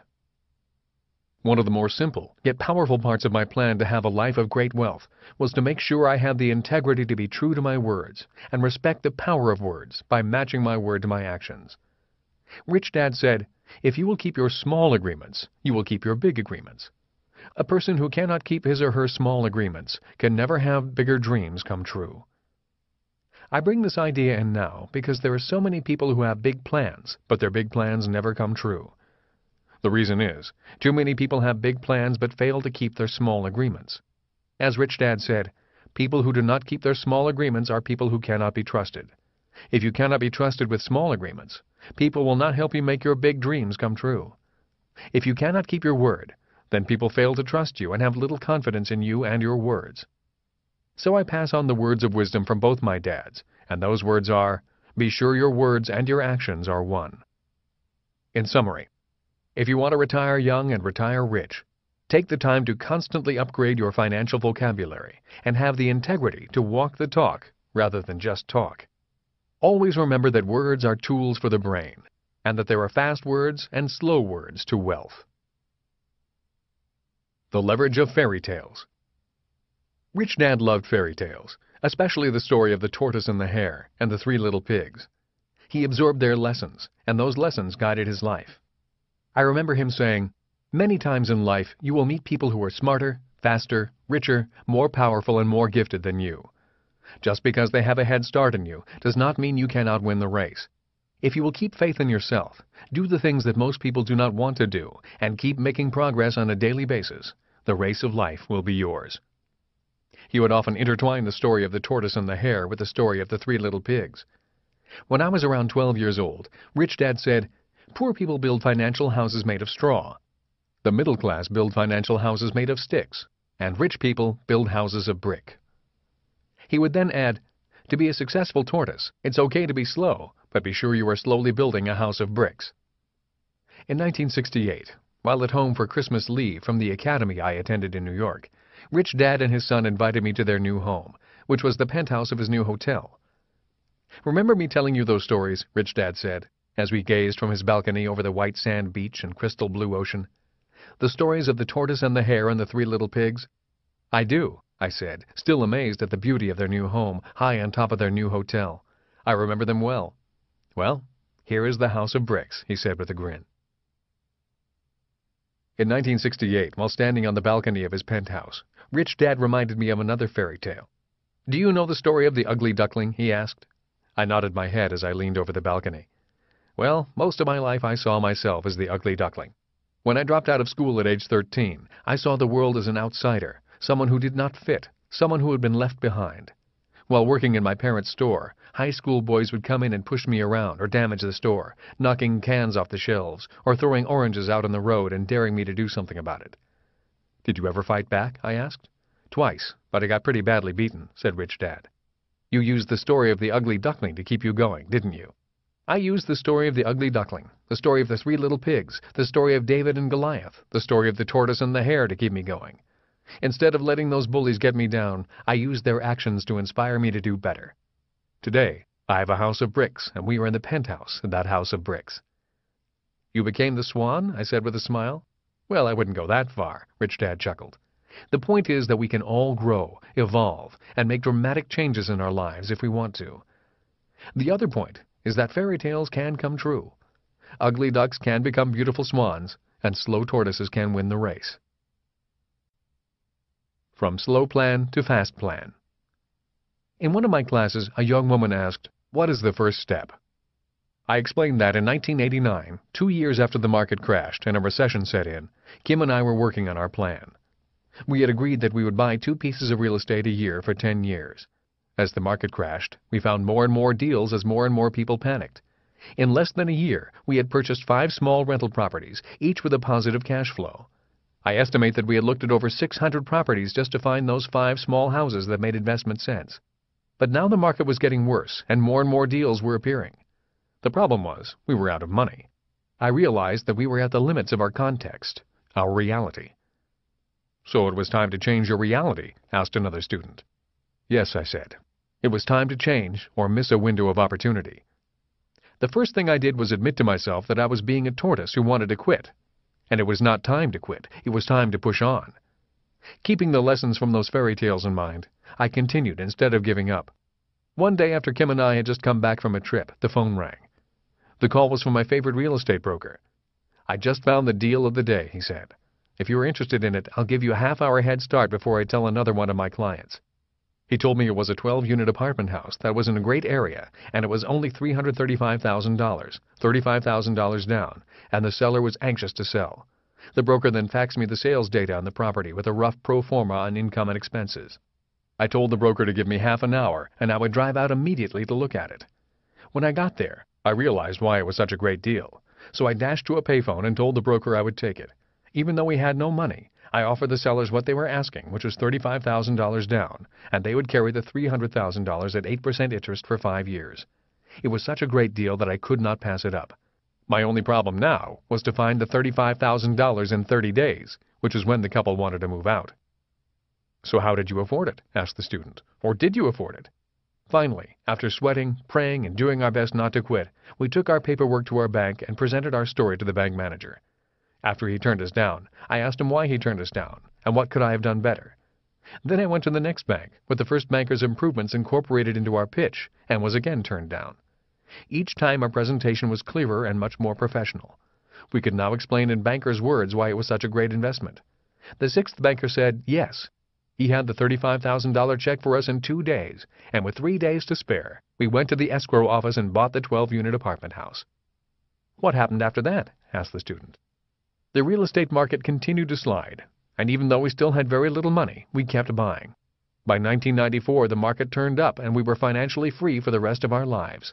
That 12-unit apartment building sold for over $500,000 in 1994 and had put over $1,100 a month in our pocket during that period. The $165,000 in capital gains were rolled tax deferred into a 30 unit apartment house, which is one of the apartment houses we still have today. That 30 unit apartment house began putting a little bit more than $5,000 a month in our pocket each month. With the other properties and investment we had, we were earning over $10,000 a month in passive income, which put us at the affluent level and we retired. We had about $10,000 in passive income and about $3,000 in monthly expenses. We were financially free. So it was not luck, said another student. It was your plan that got accelerated. We were prepared for the window of opportunity, and we took it, I said. Soon after 1994, the prices of real estate skyrocketed, and it became a little harder to find such bargains and willing sellers. The reason I tell you this story is to explain to you the importance of being willing to expand your context as well as add to your content. So today, affording a $335,000 property is easy for you because you increased your reality and your education. Is that what you are saying? asked a student. Very easy, I replied. The important thing for Kim and me was the willingness to go beyond our context and our content. Have you become an ugly duckling again? asked a student a little cynically. Sure, I said. After the $335,000 apartment house, we found it easy to invest up to the $2.5 million level. From 1994 to 2001, we did well in the range of up to $2.5 million, and our passive income increased to about $16,000 a month without much effort. Simultaneously, in 1996, I knew it was time for me to learn how to take a company public, through the IPO process.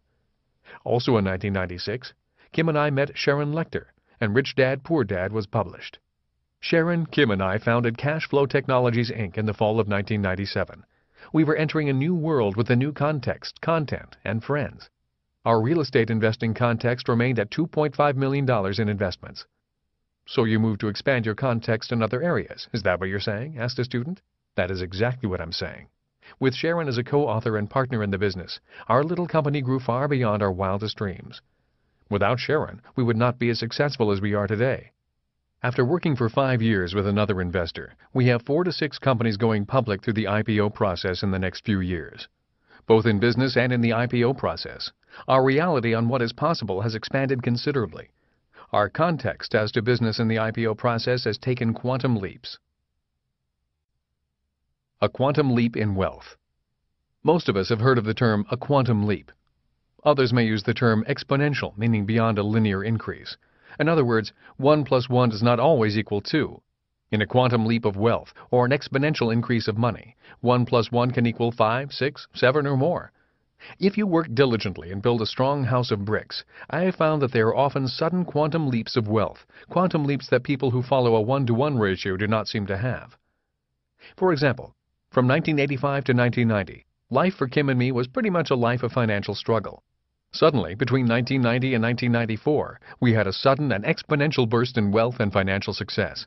From 1994 to 1998, life again was pretty stable. We worked diligently building assets, more specifically businesses. Then, suddenly in 1999, not only did my books and games begin to take off, many of our other businesses and investments began to catch fire. It seemed like a sudden surge of good fortune, new friends, and new opportunities. Yet in reality, it was the years of working without much results and occasional financial setbacks that was the source of the surge in exponential wealth. The reason this happens is because the value of assets often increases exponentially while the value of your labor only increases incrementally. For example, my accountant told me that the value of one of my companies grew to $40 million in the year 2000. That was the price she thought we could sell it for if we wanted to sell it. At the same time, one of my attorneys raised his hourly rate by $25 an hour.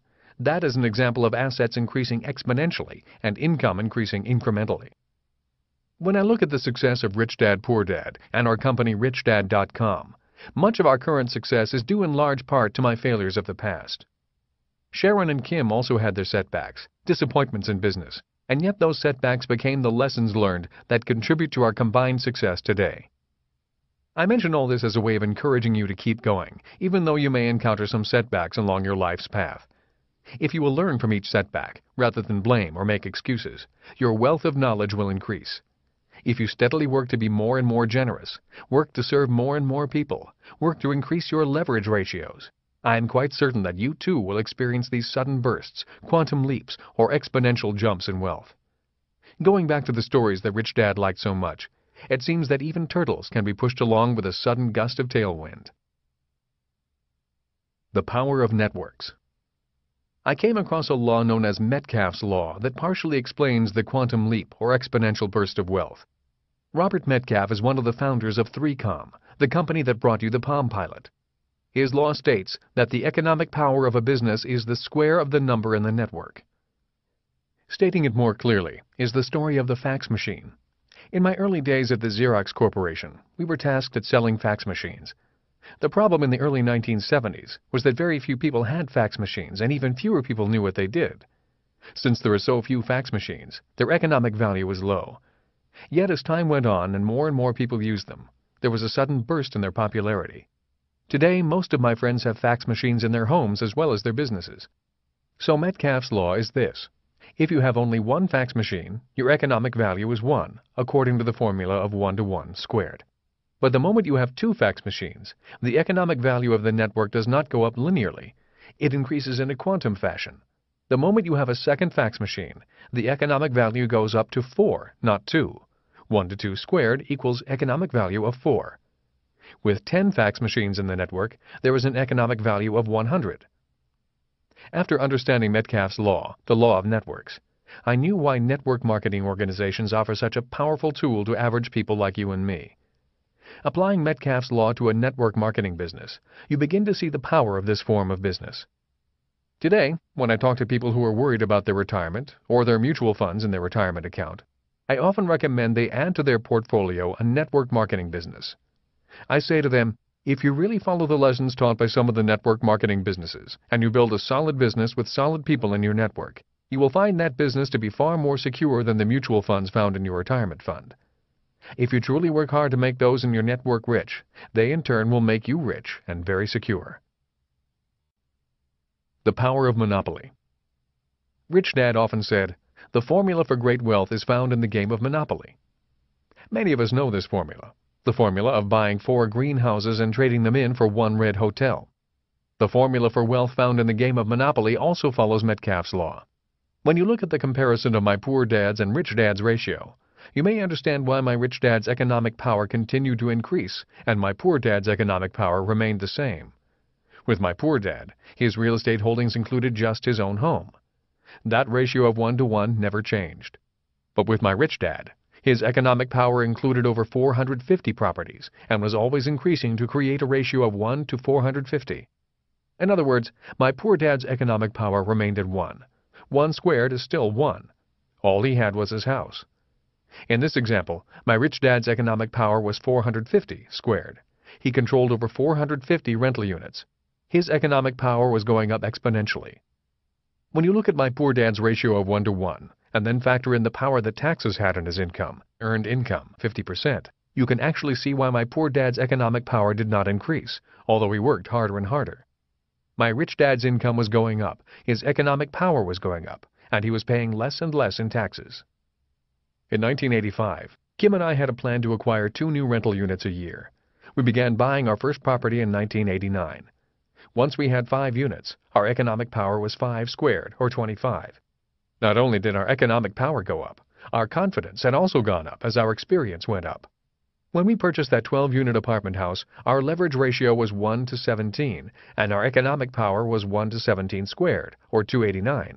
Others who only had their home and did not purchase investment property during the downturn had their real estate ratio remain 1 to 1, and their economic power remain at 1. For Kim and me, our goal for the year 2005 is to have 1,000 rental units or more in our portfolio. The question is, what is the economic power of 1,000 squared? Metcalfe's law explains why my rich dad was eventually earning more in a year than my poor dad earned all his life. Metcalfe's law also explains why tortoises can beat hares if they continue to acquire assets rather than work for money as many a rabbit often does. Network Marketing Business After understanding Metcalfe's law, I knew why network marketing organizations offer such a powerful tool to average people like you and me. But before I get into this further, let's review the cash flow quadrant for a moment and see how network marketing can facilitate movement from employee to investor. As you may remember, the four quadrants of the cash flow quadrant are designated in the following way. E, which stands for employee or someone who works for security or benefits. And this is above the S, which stands for self-employed or small business owner. People like doctors, lawyers, or accountants who work for themselves. On the other side of the quadrant, we find the B, which stands for business owners, people who have others work for them. Below that is the I, which stands for investor, people who make money with money. They do not have to work because their money is working for them. Now, how does network marketing fit into the quadrant? Here's an example. A person from the E or S quadrant decides to join a network marketing organization and learns to move to the B quadrant. He or she works for a year or two, gaining the required education and mindset. But it is not much different than being in the E or S quadrant. It is still 1 to 1 squared, with an economic power of 1. But suddenly, in the third year, this person's context is expanded because they have new content, and all of a sudden they now attract and train three strong candidates who also want to build the business. Their leverage ratio is now 1 to 3, with economic power of 9. In three years, that is a quantum leap of power. After five years, let's say this person now has a network of 10 people, with this change, their leverage ratio is 1 to 10, with economic power of 100. Now let's say this person decides that 10 people are enough, and he or she focuses only on the 10 people in his or her business. After just a few years, let's say the 10 people in his network also have 10 people, 1 to 10 to 10. This means the original person now has 100 people in his network. Then, with his or her excess cash, the person begins to buy apartment houses. Within 5 to 10 years, this individual has not only made the shift from the E and S side of the quadrant, they have jumped their economic power in both the B and I quadrant, something that is hard to do in the E and S quadrant. Suddenly, the person who made the shift is far wealthier, making much more money, and has more economic power than the peers he or she left behind in the E or S quadrant. Imagine it. After 15 years, the numbers could be staggering. That is an oversimplified example of why I recommend some of the network marketing companies. If you truly work hard to make those in your network rich, they in turn will make you rich and very secure. In my mind, a network marketing business is far more secure than the stock market because you are counting on people you have grown to love and trust, and all of you are harnessing the power of Metcalfe's law, the law that measures the power of networks. Networks harness the power of generosity. The rich and powerful understand the power of networks. McDonald's is a network of hamburger stands linked throughout the world. General Motors is a network of car dealerships throughout America. Exxon is an oil company with oil fields, tankers, pipelines, and gas stations linked throughout the world. If the rich and powerful use networks, shouldn't you? Safeway is a chain of food stores that distributes food throughout the country. CBS, NBC, ABC, CNN, PBS, CBN are very powerful communication networks. Rich Dad said, if you want to be rich, you must build networks and link your network with other networks. The reason it's easy to become rich through networks is because it's easy to be generous through networks. Networks are people, businesses, or organizations that you are generous with because you support them and they support you. Networks are powerful forms of leverage. If you want to be rich, build a network and network with other networks. Our business plan for RichDad.com is based on networking. Today we network with AOL, Time Warner, Time Life, PBS, publishers in 40 different countries, many church organizations, and several network marketing companies. We work together to make each other stronger and more viable, as well as wealthier. There is a give and take, a sharing of strengths and minimizing of weaknesses that make us all stronger. We have found that through being cooperative and focused on making sure the people we do business with do well financially, we grow exponentially. I have noticed that individuals or businesses that primarily focus only on making themselves rich or taking more than they give do not make good network partners. I have noticed that people who want only to take and are only concerned about themselves often have to work harder and earn less in the long run. Additionally, I have met so many people who form a business by borrowing money or raising capital from friends, family, and other investors. They immediately rent a big office, buy a fancy car, and pay themselves huge salaries from investors' capital rather than from income from the business. Because the investors' capital is mismanaged, and there is still no income, they then try to pay the business, their employees, and specialists as little as possible. In such ventures, it is often the investor that gets stuck with the bill, as was the case with many dot-com startups. Rich Dad said to his son and me, The people who must get paid first ultimately get paid the least. The business owner should pay himself last, because he is in business to build an asset. If he is in business for the big paycheck, he should not be in business. He should be looking for a job. If the business owner has done a good job at paying everyone else to build his asset, the asset should be worth far more than he could ever have paid himself. Rich Dad said, Most people are not in the world of business to build or acquire assets. Most people are in the world of business as employees or self-employed specialists because they want a paycheck. This is one of the main reasons that less than 5% of the U.S. population is rich. Only 5% of the population realize the value of assets over money. Rich Dad also said the business owner or entrepreneur gets the big bucks at the end of the day because he or she must be the most generous at the start of the day. The business owner takes the most risks and also gets paid last. If they have done a good job, the amounts of money can be staggering. That is why when starting any business I work for free. I work for free because I want the big money at the end of the day. A final word on generosity. During the dot-com mania, there was much talk about old economy businesses and new economy businesses. Regardless if the business is old economy or new, all successful business and individuals must follow certain age-old principles and laws. Generosity falls under the age-old law of reciprocity. It is the law that states, give and you shall receive. It is not a law that states receive and then you give. It is a law that has survived the test of time, and it will survive the test of the future. Today, more than ever before, it is very important to want to look out after yourself and your loved ones. But if you want to be rich, you must first think about serving the needs of as many people as you can. It's the law. Rich Dad believed in the law of reciprocity, and in the idea that being generous was the best way to becoming very, very rich. It was his context on life, and his actions were in integrity with his context. Not only did Rich Dad believe in being generous by serving more and more people, He also believed in being generous with his money. In that line of thinking, he truly believed in the power of tithing or the power of giving money. That is why Rich Dad gave generously to his church, charities, and schools. He gave money because he wanted more money.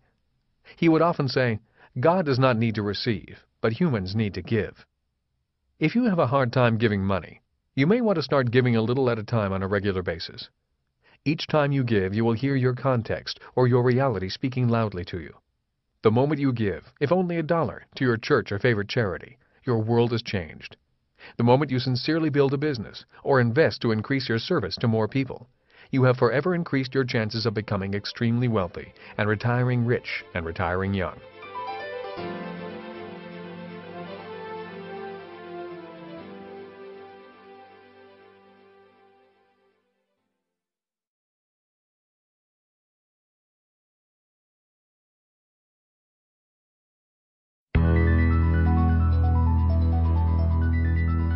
The leverage of action. Rich Dad said, talk is cheap. Watch what a person does more than listen to what they say. The first two sections of this program have been primarily about the mental and planning process of acquiring great wealth. Both processes are important to retiring young and retiring rich. But this next section is what one can and must do in order to retire young and retire rich.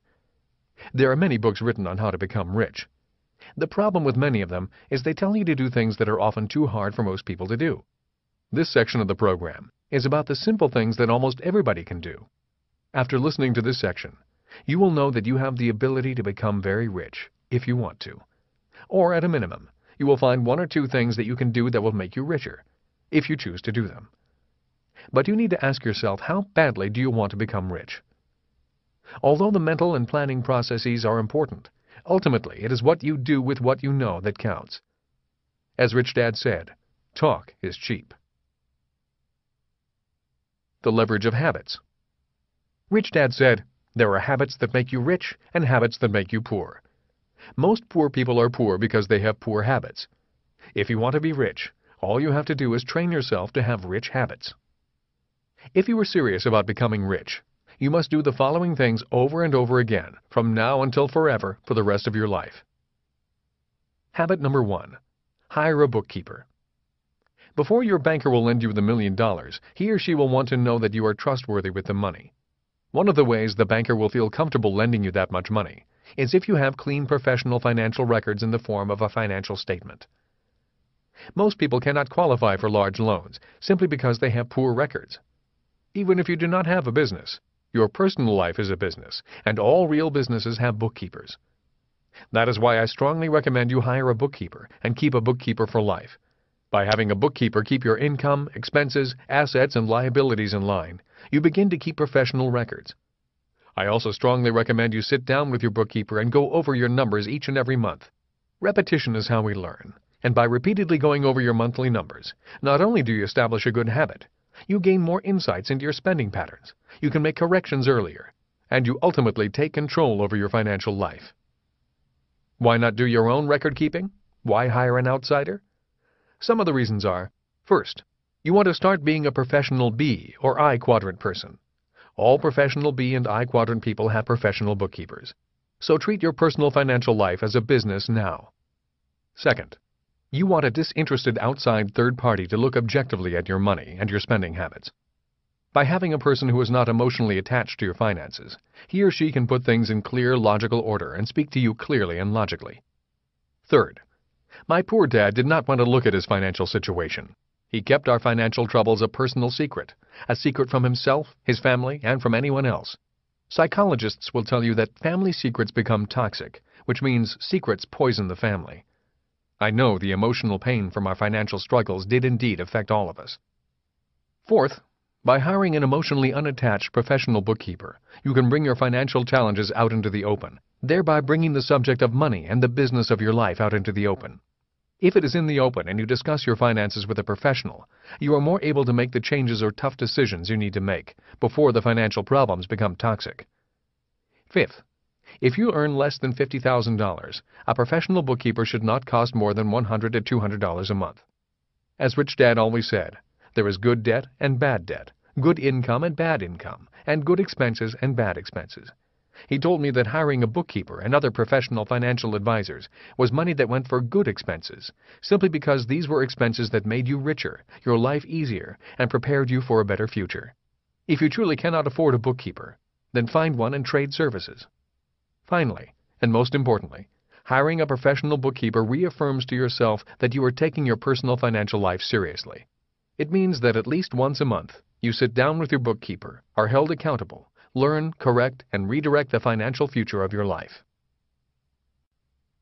Habit number two, create a winning team. In Rich Dad's Guide to Investing, I wrote that the B quadrant and the I quadrant are team sports.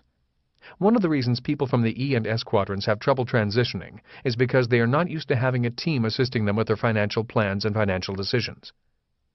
After your bookkeeper gives you your monthly financial statements, meet with your team on a monthly basis. You may want a banker, accountant, attorney, stockbroker, real estate broker, insurance broker, and others. Each professional comes to the table with a different set of eyes and different ways of solving your problems. Just because you have many opinions does not mean you have to follow any of them. The most important thing is that you do not keep your money problems a secret. You listen to people smarter than you in different areas of expertise, and ultimately, you make your own decision. So start gathering your team. If you cannot afford a high-priced team, you may want to find a retired person who enjoys helping and guiding people. Many times, all you have to do is buy them lunch. You will be surprised how many people simply enjoy being asked to share their life's experience in helping others. All you have to do is be respectful, not argue, and listen intently. Do this once a month, and your future will be enriched forever. Habit number three. Constantly expand your context and your content. We now live in the information age, not in the industrial age. In the information age, your greatest asset is not your stocks, bonds, mutual funds, businesses, or real estate. Your greatest asset is the information in your head and the age of your information. Too many people are falling behind because the information in their heads is ancient history, or they cling to answers that were right yesterday but wrong today. If you want to retire young and retire rich, you will need to keep up with a world of rapidly changing information. Keep learning by listening to audio programs, reading financial books, and subscribing to online resources that deal with financial education. Our website lists many resources from our company that can get you started. You can also check the bibliographies of the Rich Dad book series for other important titles. Habit number four. Keep growing up.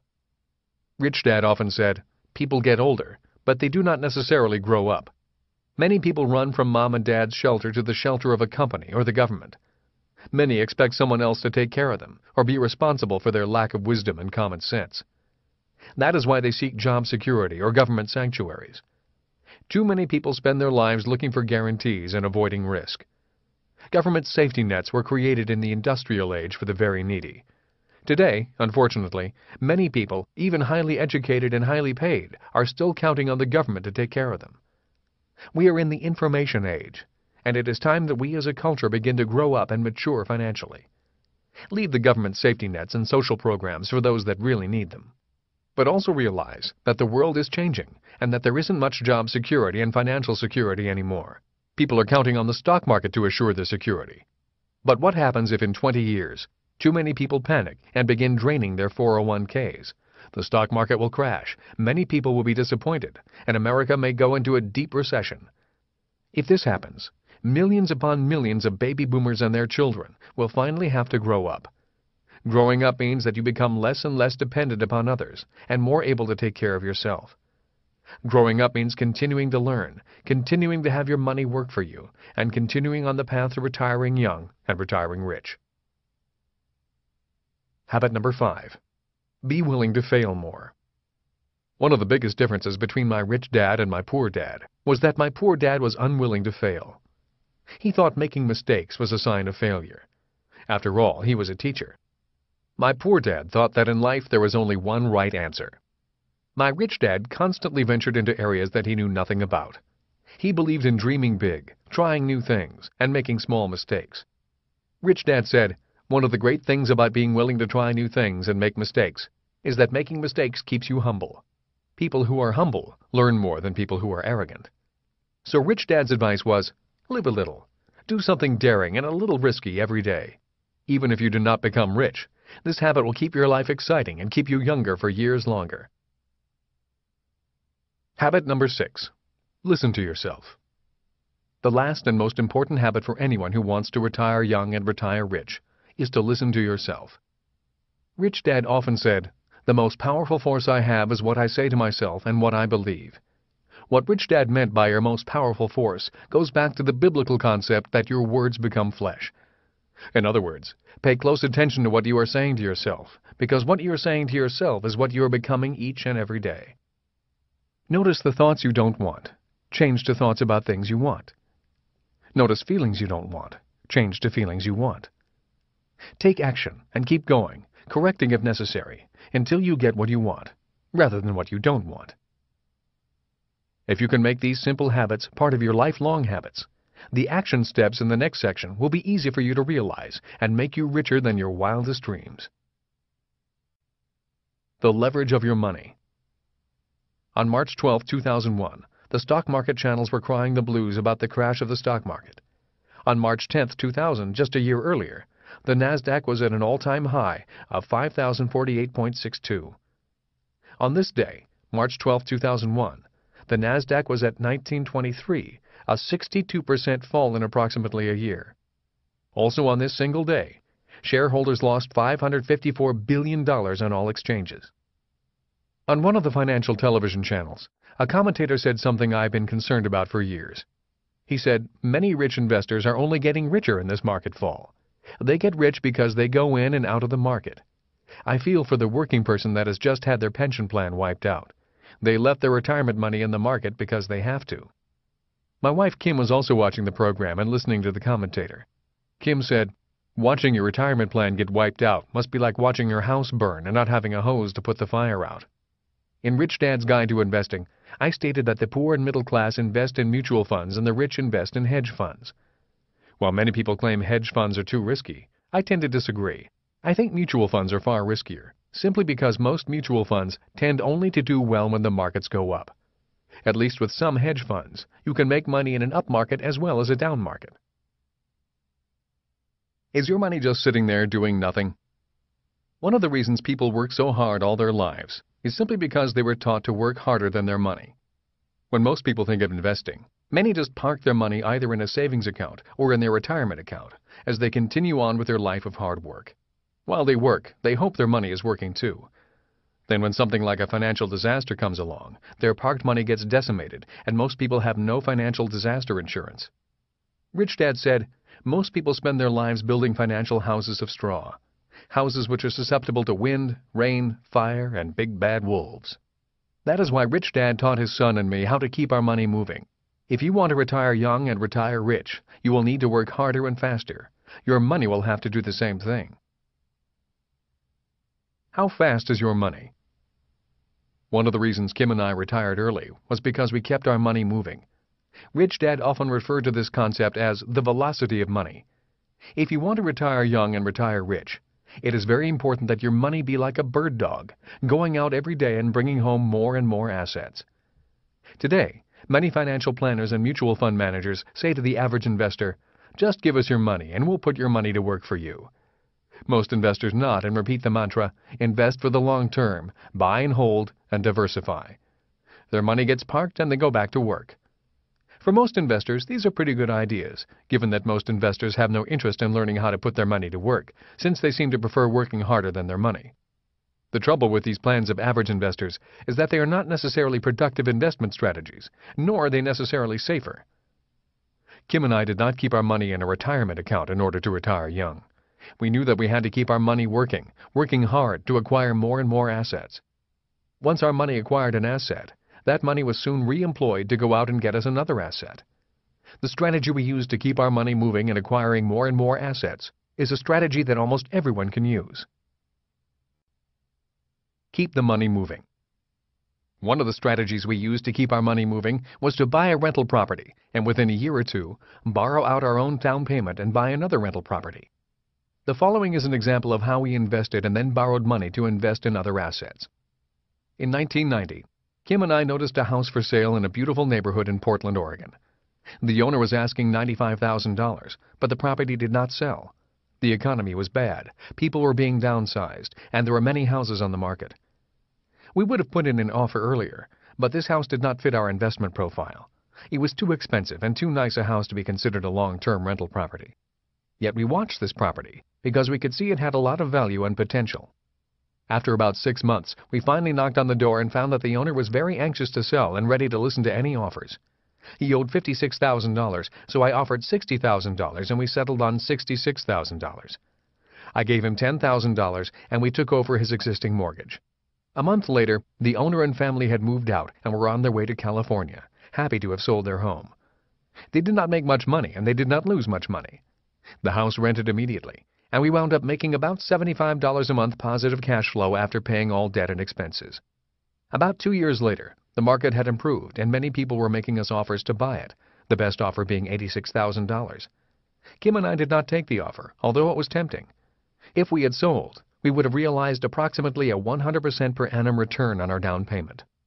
We felt the house could eventually reach the $150,000 range in three to five years. Instead of selling this house, we decided to begin buying more now that the market was turning in sales price and also rental income. Given the strong market indications, Kim and I applied for a home equity loan. The balance on the mortgage was now less than $55,000, and the appraisal came in at around $95,000. The rent could cover a mortgage of around $70,000, so we refinanced the house and put approximately $15,000 in our pocket. We had gotten our money back and we still had the asset.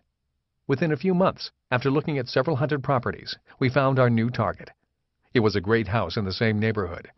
The house did not show well since the owner had let his children live in it rent-free for years.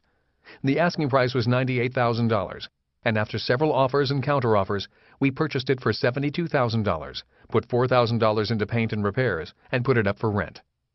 Late in 1994, we sold both houses for just under $150,000 each and took that money to buy a larger apartment house in Arizona, where the market prices were still depressed. Besides keeping our money moving, there are a number of points I would like to point out. 1. We did well because the market was down, and that gave us time to look for and negotiate sensible investments. If the market were up, we would tend to look harder and be even more cautious. 2. The investments had to make sense today, not tomorrow. Rich Dad always said, your profit is made when you buy, not when you sell. Every property we bought had to have a positive cash flow on the day we bought it and had to have a positive cash flow even in a bad economy. If the market had not gone up, Kim and I would still be happy with the investment. 3. As stated earlier in this program, every investor has an exit strategy before they enter the market. Since this was a new type of market, even though it was investing in real estate, it was a different type of real estate investment. This difference required we start over again, doing our research and coming up with different entry and exit strategies. 4. Those two houses would sell for $200,000 to $250,000 today, now that the Portland, Oregon market has recovered. The reason we sold early was to leave some money on the table for the next buyer, also to take advantage of a market that was down and about to move up, in this case the Phoenix market, and because our investment portfolio had changed. We no longer held single-family homes. We had now graduated to larger and larger apartment houses, again for more leverage. 5. Know the difference between being an investor and a trader. We were investors when we were willing to buy and hold the properties for their cash flow. We were traders when we knew our entry as well as our exit strategy. In other words, an investor buys to hold and a trader buys to sell. If you want to retire rich, you need to know how they are different and how to be both. 6. Kim and I invest for the long term. But to us, investing for the long term does not mean parking your money, leaving it in one big pile, thinking you're diversified when in reality all of your investments are in one vehicle, a vehicle such as mutual funds, and then hoping that the wind does not blow or a fire does not break out. Investing to us means being in the market every day of our lives, gathering more information, gaining more and more real-life experience, and keeping our money moving. I want my money back. If you are a sophisticated investor, you want your money back, and you want to keep the asset too. That is the reason I love investing. I get to keep what I purchased and get my money back. If you can understand this principle of investing, you will understand what the velocity of money means. It means you want your money back as quickly as possible so it can be reinvested to acquire other assets. More than one way to speed up your money. This idea of the velocity of your money does not only apply to real estate. The idea of velocity of money is really a principle or mental tool of the rich. Once you understand the principle, you want to be able to apply it in everything you do. Velocity of money is an important aspect of leverage. Another way of increasing the velocity of money is through knowing the tax laws and using corporate entities. For example, let's say someone owns a business and also owns part of a second business that invests in real estate. Rental expense from one company flows to the rental income of the other company. As you may know, a business is taxed after expenses, while the individual is taxed before expenses. So an individual who rents a house pays for that house with after-tax dollars. The business can pay that rent with pre-tax dollars. The rental income goes to another corporate entity, but this income is now classified as passive income rather than earned income. There is an exception, where the ownership of the two companies is the same, where the income must be treated as earned income. For example, if you have a business in your home and pay yourself rent, you would have to treat that income as earned income. Passive income, if managed properly, can flow to the individual or the business paying substantially less in taxes. A person who manages his or her business and investment portfolio in this manner can keep their money moving faster while paying much less in taxes. If it flowed into only one corporate entity, it would stagnate and be taxed heavily. Velocity of money with paper assets. The idea of the velocity of money applies to all assets, including paper assets. When someone looks at a stock's PE, price to earnings ratio, they are looking at the velocity in many ways. When someone says the stock's PE ratio is 20, it means it will take you 20 years to get your money back, based upon today's price and earnings. The Rule of 72 The Rule of 72 is another measure of money's velocity. This rule measures the interest, or annual percentage growth of something. For example, if you receive 10% interest on your savings, your money will double in 7.2 years. If your stock is appreciating in value by 5% per year, that means it will take 14.4 years to double your money.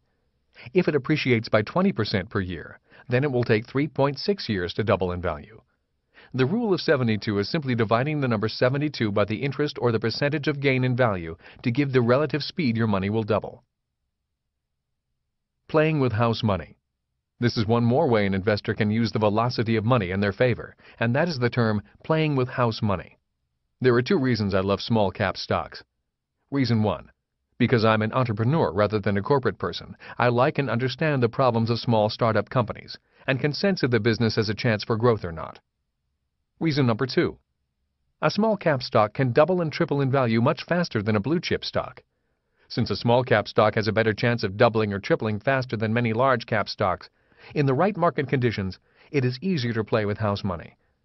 The following is an example of playing with house money. Let's say you buy 5,000 shares of XYZ Company for $5 a share. You now have $25,000 in the market. The market shines on you, and in less than a year, the price of XYZ is now $10 a share. You now have a market valuation of $50,000. A greedy investor will say, the market will keep going up, so I'll hang on. Again, an exit strategy is important before getting into the market. Instead of hanging on and just parking your money, one way to increase the velocity of your money is to simply sell $25,000 worth of stock. That way you still have $25,000 worth of stock, although half the shares in this case, and you have your money back. The remaining shares, which have the $25,000 valuation at that time, is playing with house money. I use this strategy often, but not all of the time. How long are blue chips blue? There is another investment strategy I often hear and that is to invest for the long term and only buy blue chip stocks. To me, that is an obsolete idea. Again, because it was an idea that worked in the industrial age, but not in the information age. The reason that old strategy is not working is because blue chip stocks are not blue chips anymore.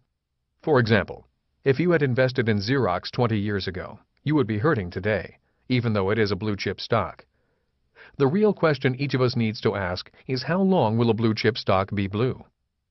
In this age of faster moving technology, a company may rise and fall in just a few years. The speed of change then requires all of us to be more vigilant and to focus on keeping our money moving, rather than just leaving it parked, waiting for the market to rise and rise forever. The buy, hold, and pray strategy is okay for the average investor, but it is not a great strategy for anyone who wants to retire young and retire rich. The leverage of paper assets. As Rich Dad said, while there is risk, Investing does not have to be risky. Nor do you have to lose if the market changes direction. In fact, if the market starts to go down, many sophisticated investors make a lot of money. The following are my Rich Dad's lessons on how to invest in the stock market and make money, whether the market is going up or down. One of the key things to do is to keep an open context. An open mind and a flexible context are important. Don't say, that's impossible. Vocabulary of insurance. If you want to retire young and retire rich, it is important that you invest some time learning how to protect your assets, especially if you plan on holding your wealth in paper assets. You do that by learning and understanding what my rich dad called the language of a sophisticated investor. In my investment seminars, I call it the vocabulary of insurance. Before getting into these words, I believe it is important to review a few other words. Investor versus trader. If you want to be successful in the world of investing, whether it is in paper assets, businesses, or real estate, you need to be both an investor and a trader. An investor knows what to analyze and how to manage investments, and a trader knows how and when to buy and sell. An investor usually wants cash flow from the asset, and the trader wants to realize a capital gain from buying low and selling high.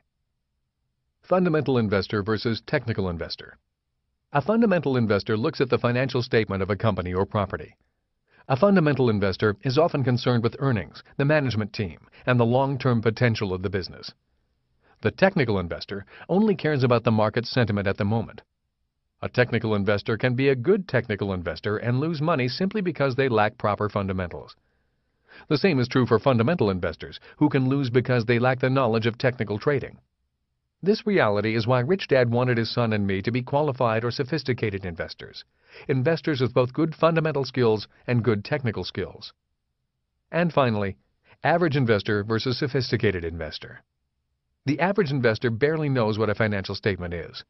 The average investor is better off investing for the long term and investing in mutual funds. The sophisticated investor is someone who has money and understands both fundamental investment techniques as well as technical trading techniques. Words that help you win in any market. If you want to retire young and retire rich, protecting or insuring your assets from catastrophic loss is vital. The way to win and protect your assets in any market is to learn and truly understand the vocabulary of the fundamental and technical investor, especially in paper assets. It is easy to do if you will invest a little time. Just as a banker will ask to see your financial statement before giving you a loan and require you to have property, title, and mortgage insurance on a real estate investment to ensure the technical or catastrophic risk, you too should require the same of yourself if you want to invest in paper assets. The way you do that is to begin understanding the words of insurance when investing in paper assets. For instance, trends. Every sophisticated investor must understand trends. There is a saying that all sophisticated investors say, and that is, the trend is your friend. Please remember and use that saying. So what is a trend? Essentially, it is an investment cycle that comes in waves, as do ocean waves. Sophisticated investors go with the trends, changing strategies when appropriate, or standing on the sideline if things are too choppy. There are three basic trends that affect paper assets as well as all other investment products. One is an uptrending market, often called a bull market. The second trend is market heading down, and that is called a bear market. The third trend is a sideways trending market, which is a market that is not going up or going down. The sophisticated investor uses different strategies for the different trends. Another important insurance term is moving average. Trends are caused by buyers and sellers. If there are more buyers, then the trend is up. If there are more sellers, then the trend is down. Average investors take comfort when their financial advisor says to them, the market has gone up over the last 40 years. The sophisticated investor is not watching a long-term average, but a moving average. The sophisticated investor watches the ebb and flow of money in and out of the market. These changes tell him when to alter his strategy. But how do you know if the trend is about to change? Does the market give you signs that it's about to change? The answer is yes, although it's not an exact science. There are many different types of patterns that technical investors look for. When technical investors see the double top pattern, they become cautious and begin to change investment strategies or get out of the market entirely. The price of the stock may tumble down sharply right after this pattern. When technical investors see the double down pattern emerging, they again change strategies or begin to buy stocks while average investors have given up hope and are selling. One big advantage that technical investors have is that they have time to protect their asset prices with insurance. Average investors have two choices once the market changes direction. They can hold and lose or sell and lose. A sophisticated investor has other choices. The following are some of the mental tools that sophisticated investors use to protect their assets and make money in up and down markets. These are the tools that help them make money and protect their money when the market goes down. So another insurance term is stop orders. Sophisticated investors may call their broker and request a stop order if they suspect the price of the stock may go down, especially if the market trend is down. This is how a stop order works. Let's say your stock is at $50 today, and the charts tell you that the market is trending down. All you have to do is call your broker and put in a stop order at, let's say, $48. If the stock price begins to drop to, let's say, $30 because more sellers have entered the market, your stop order becomes a market order and the stock is sold at $48, and your losses are limited to $2. The average investor would lose $18 and still be clinging to the stock. Although stop orders are often used as insurance by investors, they are not always used by very sophisticated investors. Often the share prices tend to gap on the opening transaction, and sophisticated investors already have the news and have decided whether to sell their shares or cancel the stop limit order. There is a lot more to investing with these tools than just asking your broker to put in a sell stop or a buy stop, which is a stop in the other direction. Sophisticated investors tend to have many more tools and understandings than average investors, if they don't, they too will get killed while their peers are making a killing. Some final insurance terms are call options. Another word for options is insurance. Simply put, a call option gives the owner of the option the right to buy 100 shares of stock at a certain price per share over a predetermined period of time. A call option is an insurance policy, protecting the investor from missing out on a sudden increase in the price of a stock. Put options. Call options are used to make money in an uptrending or bull market. When the trend of the market is down, the sophisticated investor will use put options not only to make money, but also to protect the value of their stock in case prices begin to fall. Collars or straddles. Straddles or collars are the ultimate insurance protection. In overly simple terms, a straddle or collar is placing a put and a call around a price position. Collars or straddles are used to protect both the up and the downside risks and opportunities. It can be an ultra-conservative strategy if you know what you're doing. Shorts. First of all, a short is not an option. When someone says, I am shorting this stock, they are trading in stocks, not options. A sophisticated investor knows the differences between shorts and options and knows when and when not to use them. Why short a stock? Generally, if the investor feels the price of a stock is too high and the market is trending down, a sophisticated investor may find it profitable to begin to use shorts to make money. Shorting a stock is simply borrowing someone else's stocks, selling them into the market, and putting the money into your pocket. If and when the market price of the stock comes down, the investor buys the stock back and returns it to the person they borrowed the stocks from. The main point of all this is that investing does not have to be risky if you're willing to invest a little time to increase your education. Once you learn to minimize risk, you can greatly increase your returns.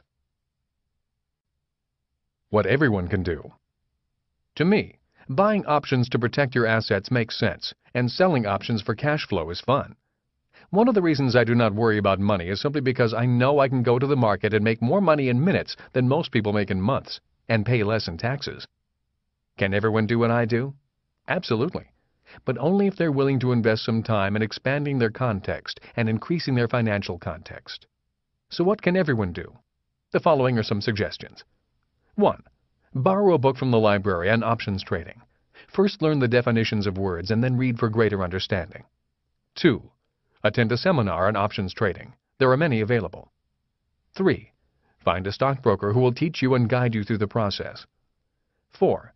Play Cash Flow 101 at least 12 times so you learn the mindset of fundamental investing. After you have mastered 101, you can move on to Cash Flow 202 which is the game that teaches people how to use call options, put options, shorts, and straddles. Most importantly, Cash Flow 202 teaches you to think in multiple directions depending on changing market trends. Is investing risky? My answer is absolutely not. In my opinion, being financially ignorant is risky. If you want to retire young and retire rich, learning how to insure your assets against loss is fundamental, and that means staying educated to ensure your financial future. The leverage of building a B quadrant business. Being a leader in the richest game. The richest self-made people in the world are entrepreneurs from the B quadrant. They are far richer than the movie stars, sports stars, and highly paid professionals.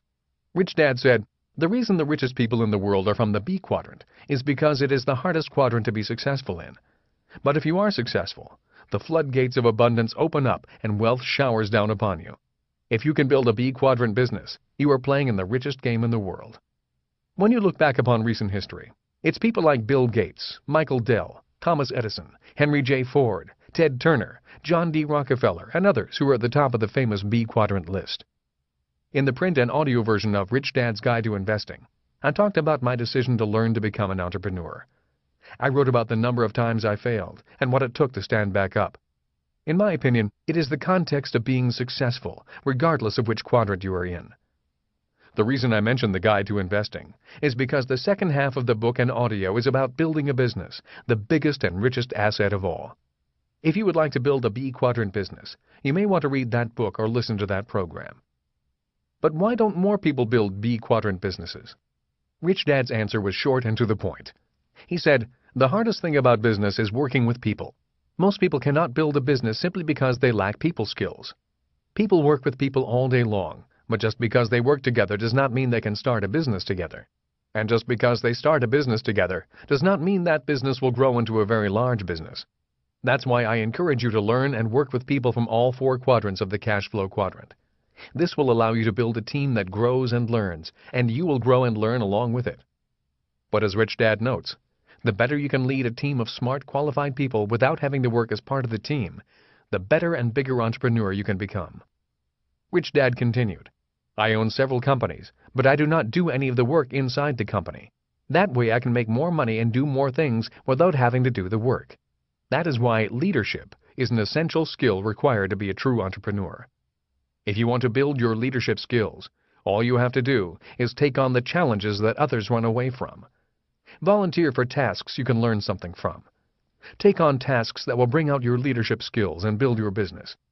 Too many people never develop their leadership skills simply because they make it a habit to back away from challenge. Remember, it takes a leader to turn individuals into a team.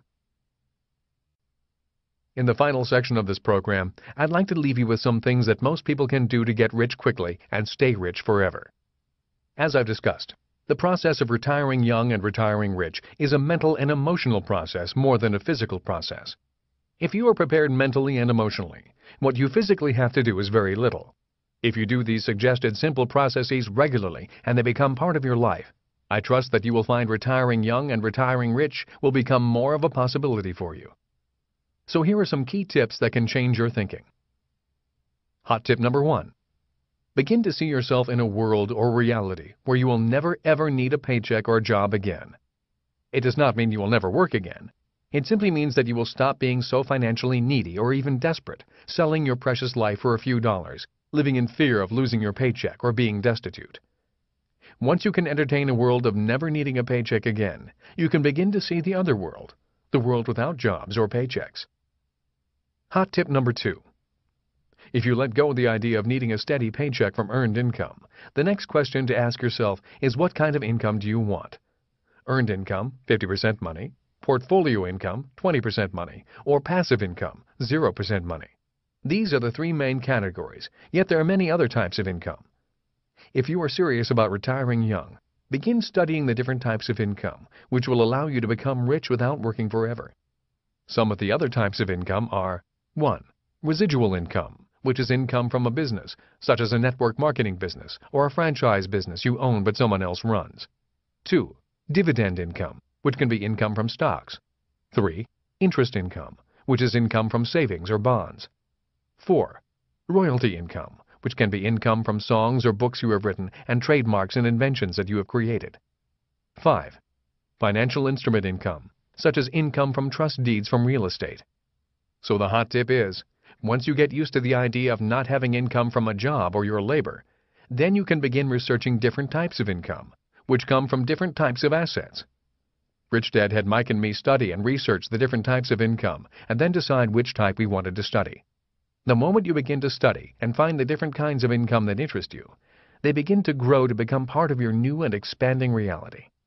The point is, don't do too much.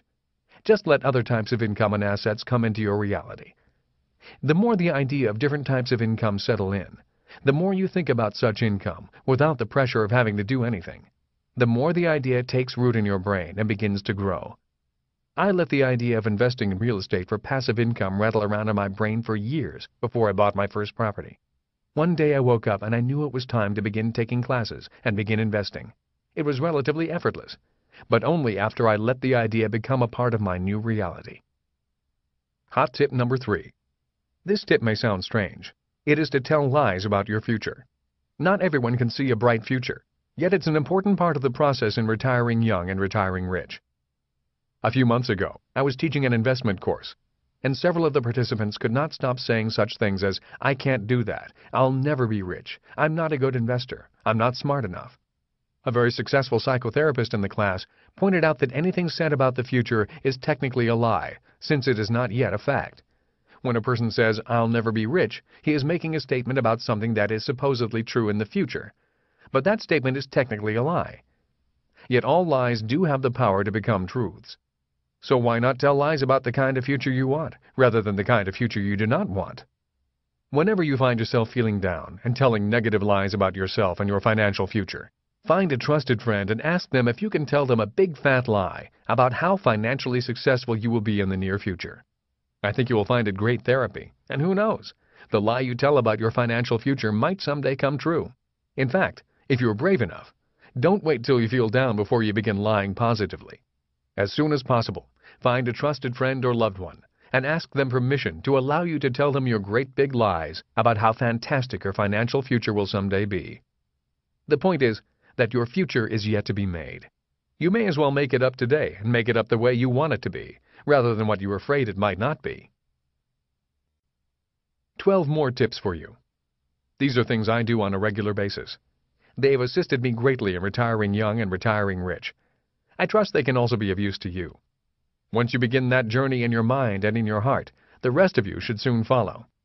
1. Decide. Every day I get up and I choose who and what I want to be. I ask myself, do I want to live today as a person with a poor context, a middle-class context, or a rich context? Remember that a person with a poor context will say something like, I'll never be rich. A person with a middle-class context might say, job security is important. A person with a rich context might say, I need to increase my financial IQ so I can work less and make more money. 2. Find a friend or loved one who wants to go on the journey with you. I know that I would not have made it without my wife Kim and my friends like Larry Clark. Be sure to have friends who demand more of you rather than tell you why you cannot do what you want to do. 3. Seek competent advice and begin building your own team of financial and legal advisors. Again, choosing the right people is a very important skill. People can either be assets or liabilities. 4. Set a retirement date. Sit down with your loved ones, your advisors, and set a date for your early retirement. If you will actually do this process and discuss an actual date with these people, your present context will begin to argue with your future context. It is a great and fun process to go through. You will definitely hear many different realities and different contexts. Hold quarterly meetings with this group and continue to discuss your early retirement date. 5. Write down a plan on a piece of paper once you've set the date for your early retirement. Put that plan on your refrigerator so you have to look at it every day. Update the plan as you progress and learn more. 6. Plan your early retirement party. Be excessive and be lavish. Once you can retire early, money will no longer be a problem. Even if you do not achieve your goal, you'll have great fun going through this process. And who knows, you might even have to throw that early retirement party early. 7. Look at a deal a day. Remember, it costs you nothing to go shopping. The point is to do something for at least 10 minutes every day to improve your financial intelligence. It may be something as simple as reading one article from the money or business section of your newspaper, even if you are not interested in it. It will begin to improve your vocabulary. Listen to financial or business information tapes or CDs while you drive or work out at the gym. Attend a financial seminar at least once a year. If you do not want to pay for a seminar, just look in the financial section of your local newspaper and you will find many free investment seminars. Even if you do not learn anything, you are bound to meet other people just like you. 8. If you want to get rich quickly, one of the best ways is at the point where a trend changes. There is a lot of truth to that old saying, being at the right place at the right time. If you will look at deals daily, you will better sense changes and improve your chances of being at the right place at the right time. You must be aware of trends and have different strategies for different trends. 9. Go to our website regularly. It is our commitment to you to keep it refreshed and interesting. Think of our website as the place for people who are going to retire young and retire rich. 10. Always remember that words are free. If you want to get rich quickly, you need a rich vocabulary. Always remember that there are three basic classes of assets. They are businesses, paper assets, and real estate. Each of these assets uses different words. Once you learn the words, you will be better able to communicate to yourself and others in that asset class. Remember that a big difference between a rich person and a poor person is simply the quality of their words. Your financial education begins with your financial vocabulary. So watch your words, because words do become flesh and do become your future. If you want to get rich quickly and stay rich forever, so you can retire young and retire rich, your words hold the key, and words are free. 11. Talk about money. If your friends don't want to talk about it, you may want to find a new group of friends. In my group of friends, we talk about money, business, investing, successes, and problems. Most of my friends are also very rich and do not have the context that talking about money is evil or dirty. My wife Kim and I talk about money constantly. We enjoy the game of money just as people enjoy other sports, and because we have money as a game in common, our marriage is closer, educational, exciting, and fun. Money is a subject all people all over the world have in common, so why not talk about it? 12. Make a million dollars starting with nothing. One of the reasons I do not need a job or paycheck is because Rich Dad trained me to make money from nothing. With your loved one or friends, spend time together brainstorming on how you can take an idea and turn that idea into millions of dollars, starting with no money or very little money. This process is like going to the gym for your muscles. This regular exercise strengthens your brain and gets it ready for the moment you make your move. Before I met Kim, Larry and I would sit in the coffee shop that was on the ground floor of the office building where the Xerox office is located. We would spend hours over many cups of coffee coming up with ideas on how to make millions of dollars out of nothing. We came up with some really good ideas, some bad ideas, and many, many stupid ideas. Even though most of the ideas did not work, we did come up with the nylon and Velcro surfer wallet idea and took that idea and turned it into millions of dollars. Unfortunately, we didn't take the steps to protect the idea and ended up losing it to competition. As an example, the capitalization of the Coca-Cola Company is over $8 billion, but the value of the Coca-Cola brand is closer to $80 billion, almost 10 times the capitalization of the entire company. Coca-Cola has aggressively protected its intellectual property internationally, and as a result, the Coca-Cola brand has become incredibly valuable. When Kim and I met Sharon Lechter and we started Cash Flow Technologies Incorporated in 1997, the words Rich Dad were just two meaningless words and worth nothing. Today, the words Rich Dad are worth tens of millions of dollars. How did that happen? We took the advice of Michael Lechter, Sharon's husband and our intellectual property attorney. We took the time to sit down with him and create a strategy to intentionally build intellectual property assets. With his guidance, we have carefully followed that strategy and created and protected our intellectual property. We made sure that we protected our inventions with patents. We have created and protected Rich Dad and Cash Flow brands and a strong trade dress, purple, black, and gold, that is recognizable all over the world. The initial trademark cost us less than $1,000 to file. Next year, when we launch the online version of the cash flow game, the value of the brands could reach billions of dollars. Our experience proves that you can make money with little to no money. For further information on how you can create money with little to no money, you can read Michael's book, Protecting Your Number One Asset, Creating Fortunes from Your Ideas, an Intellectual Property Handbook, published by Warner Books. Michael is an internationally recognized intellectual property attorney who has helped countless people create fortunes from their ideas. As he puts it, he builds forts and fights pirates to protect intellectual property. Michael often says, each one of us has had a million dollar idea. Unfortunately, very few of us take the steps to protect that idea. And if you don't protect it, it won't be you that makes the million dollars from that idea. In conclusion, you and I know that your brain is still your most underused asset. It has plenty of horsepower yet to be used. Rich Dad used to say, lazy people want to get rich quickly and successful people want to get financially smart quickly and keep getting smarter. The point is, if you want to retire young and retire rich and you don't have much money, education, or experience, you do need to begin using your brain. In my reality, it does not take money to become rich. In my reality, it does take mental and emotional power. Remember, Rich Dad said, the first step is to decide what kind of world you want to live in. The moment you truly decide that, then everything in your world will change. And once that happens, you'll be on the path to retire young and retire rich.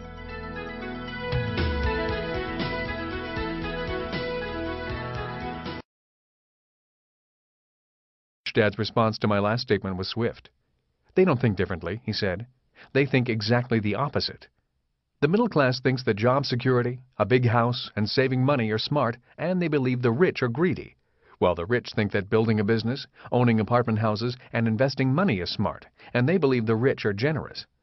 Your reality is defined by what you think is smart and what you think is risky. You mean you don't think building a business is risky? I asked. No. Learning to build a business is like learning anything else. I think clinging to job security all your life is a lot riskier than taking the risk to learn to build a business. One risk is short-term, and one risk is long-term. If you work for job security, you will work hard for most of your life. If you work to build a business, you may work harder at the start, but you will work less and less in the end, and you'll probably make 10 to 100 to 1,000 times more money. So which one is smarter? And what about investing, I asked. My mom and dad have always said that investing is risky, and they think that saving money is smart. Don't you do things differently when you invest? Rich Dad chuckled. Saving money and investing money require exactly the same activities, said Rich Dad. You will do the same things, even though your thinking is exactly the opposite. The same, I asked, but isn't one riskier? No, said Rich Dad. Tell me, what do your parents do to save money? They look for sales and clip coupons and food items, and they drive to the different markets and buy the items advertised on sale. They spend a lot of time shopping to save money. I do exactly the same things your parents do, but I shop for investments that are on sale to fill my portfolio. And my parents shop to fill their freezer, I said. You do the same thing, but my parents get poorer and you get richer. You're getting it, said Rich Dad. It is their reality, their thinking that causes them to be poor or middle class, not their activities. It is what we think is smart and what we think is risky that determines our socioeconomic standing in life, I said. Yes, we do the same things but operate from a different mindset, Rich Dad said. That is why you have always said, what you think is real is your reality, I added softly. That is correct, Rich Dad said. But what about the rich are greedy and the rich are generous, I asked. First of all, you do not have to be rich or poor to be greedy or generous. The world is filled with poor people who are greedy, just as there are poor people who are generous, and vice versa, said Rich Dad. Do you remember me telling you boys about doing more and more with less and less? Rich Dad asked. We both nodded to his question. Well, doing more and more with less and less is one form of being generous. In fact, the easiest way to become rich is by being generous, said Rich Dad. You mean to become rich by serving more people, said Mike. That is correct, Rich Dad said. Any time I want to earn more money, all I have to do is ask myself how I can serve more people. Mike then turned to me and said, My dad has never said this in front of you, but I think you are ready to hear his next lesson. Your dad has always told you that the rich are greedy, isn't that true? I nodded, saying, in so many words, The reason he says that is because he thinks the rich should pay people more and more the longer they work at a job. He calls it seniority or tenure. Is that correct? I nodded. But can you understand that for the most part, the person is often only doing the same amount of work or doing the same job? asked Mike softly. I understand that, I replied. But my dad does not see it that way. He truly believes in pay raises based on loyalty and longevity. So your dad thinks the rich are greedy because they will not pay for loyalty and longevity. Isn't that true? He does, I replied. Can you see how wanting more money for doing the same amount of work can be greedy? asked Mike. Or wanting to be paid overtime, or wanting to be paid extra if the job the person does is outside his job description. But that is how people in my dad's world earn their money, I said. It is their reality. That is the word, said Rich Dad. The word is reality. We come from different realities. In my world, to ask for more money to do the same job is greedy. In my world, if I want more money, I first need to do more and more for less and less money, for more and more people. Then I become rich. That is why your dad has a bigger house than my dad, said Mike. My dad has spent years buying and building apartment houses so he could serve more families with more and more affordable housing. If not for people like my dad, many lower income families would be paying more and more rent because there are so few apartments available. Your dad worked hard to buy bigger and bigger houses for himself and his family. He provides houses for no one else, and yet he thinks that the rich are greedy. It is your dad's reality, but it is not my dad's reality. Mike and his dad were doing their best to point out the differences in the words greedy and generous to me. At the age of 20, I was beginning to make a shift in my reality. I knew that I could choose the reality I wanted, and the reality I was choosing was the reality of my rich dad. And that reality was that many of the rich were generous. I knew that from here on in, if I wanted to become richer, I first needed to find out how to be more generous. How to work less and earn more. If you want to get rich, Rich Dad said, don't ask for a raise. Instead, begin to ask how you can serve more people. In fact, if you get a raise, you are working for the wrong kind of money. Most people are not aware that there is good income and bad income. When you ask for a raise, you ask for an increase in bad income.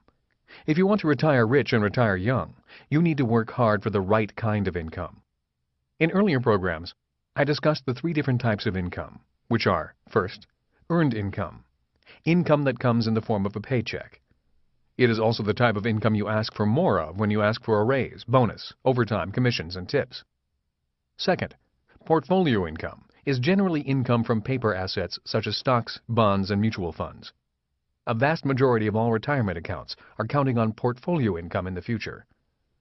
And third, passive income is generally income from real estate, it can also be royalty income from patents, or for use of your intellectual property such as songs, books, or other objects of intellectual value.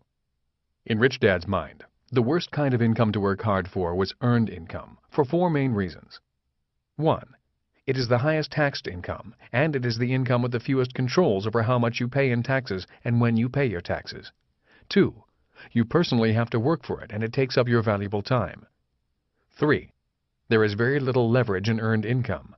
The primary way most people increase their earned income is by working harder. 4. There is often no residual value for your work. In other words, you work, get paid, and then have to work again to be paid again. Again, to Rich Dad, there is very little leverage in working for earned income. Why Rich Dad liked passive income. Although he did receive all three types of income, if given the choice between the three, he would take passive income all the time. Why?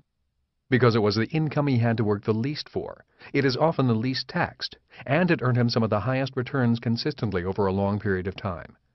In other words, he worked hard for passive income because in the long run, he worked less and less, served more and more people, and earned more and more the older he got. Kim and I were able to retire early because our plan had us working hard for passive income, not earned income. Another difference is that we planned on retiring with more passive income and not portfolio income.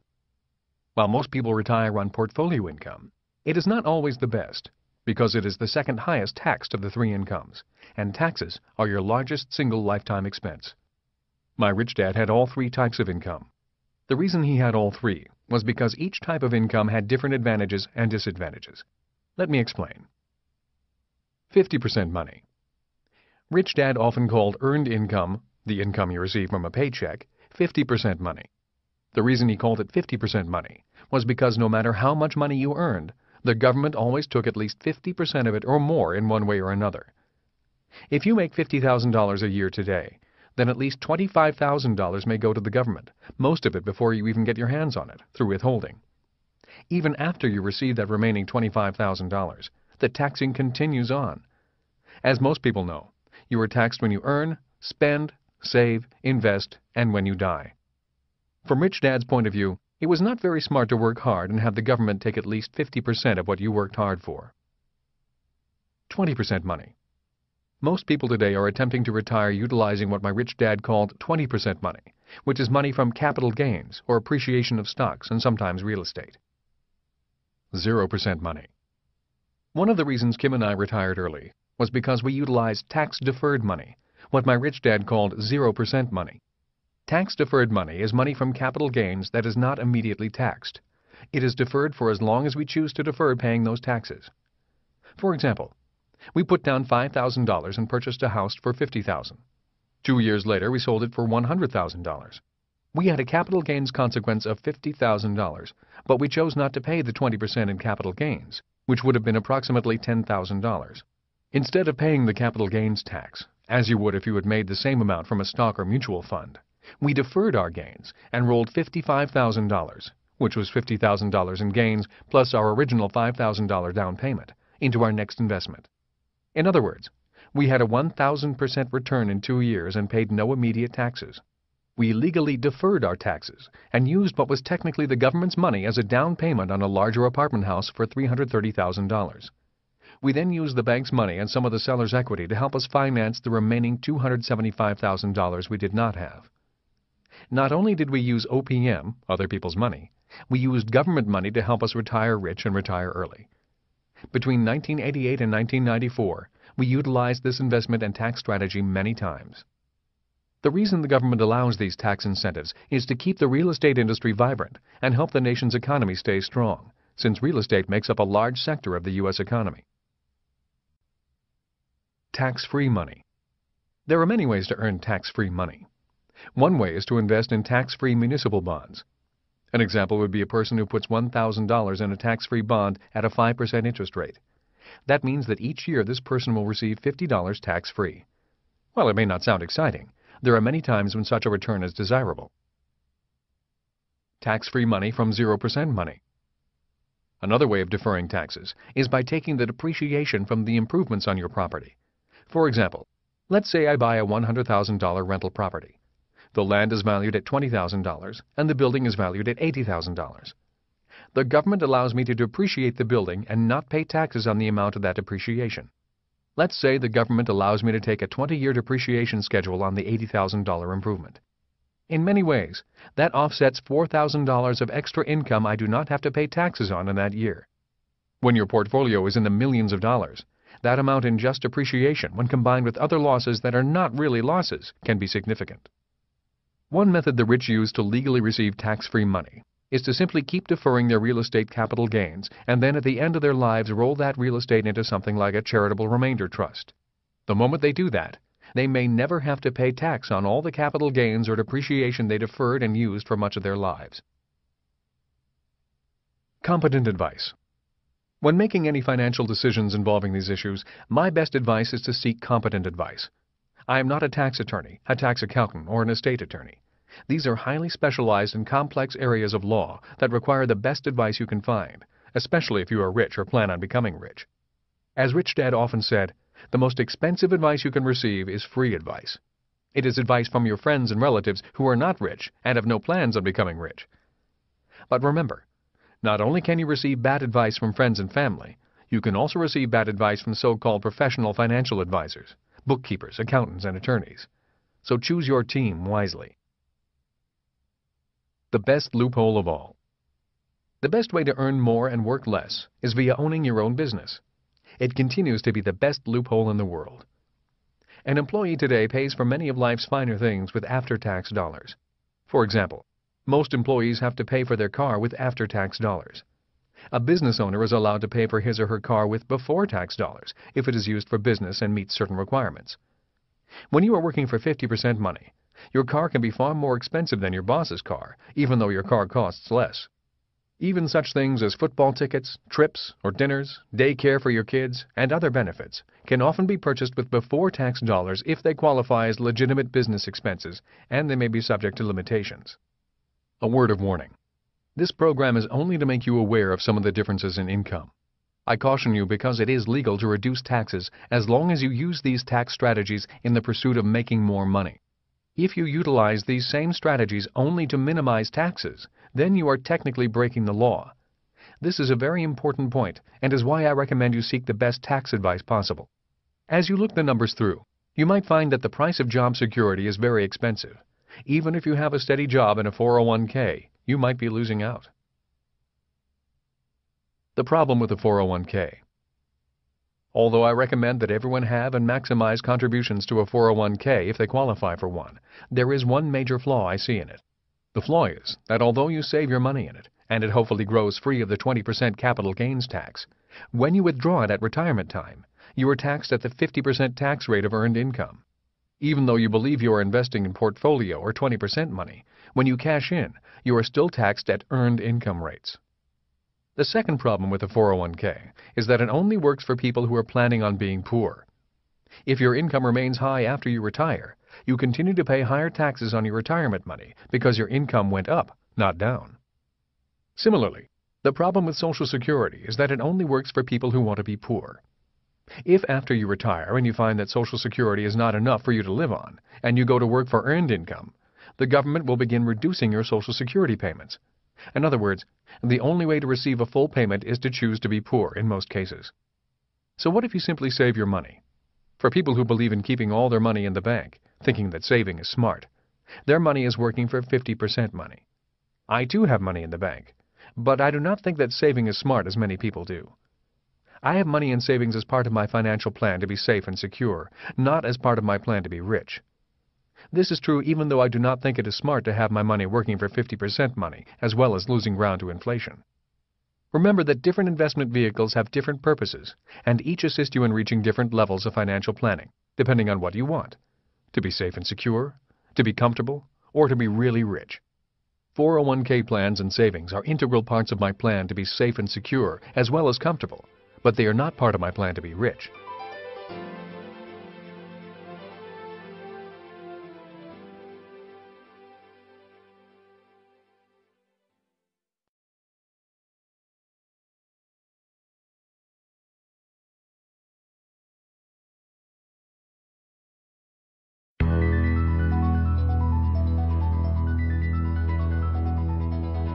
How you can earn more tax-advantaged income.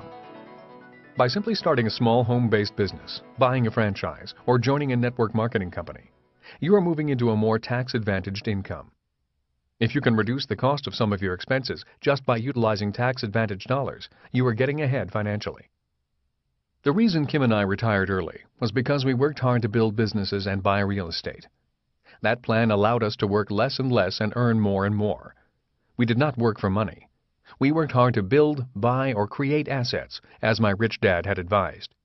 To us, working at a job was not smart, and in the long run, it was much more risky. Here's a suggestion. List how much you currently earn a month from earned income, passive income, and portfolio income. If you want to retire, you will need passive and portfolio income in most cases. The sooner you learn to acquire passive and portfolio income, the sooner you are on your way to retiring rich and retiring young. Not only will you be able to retire earlier, you may also feel more financially secure and smarter, since you will be earning 20% or even tax-deferred income rather than 50% income, which is the type of income most people are working so hard for. The fastest way to get rich quick. Rich Dad would say, there is plenty of money in the world. If you want to be rich, you need to first expand your reality, your context, in order to get hold of your share of that abundance. If you want to be rich, you need to have an open mind, a flexible reality, and the skills to turn new ideas into real and profitable ventures. But you need a plan, and fast. In a recent interview, Robert Reich, former labor secretary under the Clinton administration, noted, The widening gap between the rich and the poor is setting us up for serious trouble. And he continued to say that, in the new economy, with unpredictable earnings, two tracks are emerging, the fast track and the slow track, and the absence of gradations between. The question is, are you and your plan on the fast track or the slow track? How do you create a fast plan? One of Rich Dad's basic tenets on money is, money is an idea. Adding on to this, Rich Dad also said, there are fast ideas and slow ideas, just as there are fast trains and slow trains. When it comes to money, most people are on the slow train, looking out the windows watching the fast train pass them by. If you want to become rich quickly, your plan must include fast ideas. The following are some ideas on how to begin to build and develop a faster plan. Choose your exit strategy first. I'm often asked, how do I begin investing? Or what should I invest in? My response to their question is another question. What is your exit strategy? And sometimes my second question is, how old do you want to be when you exit?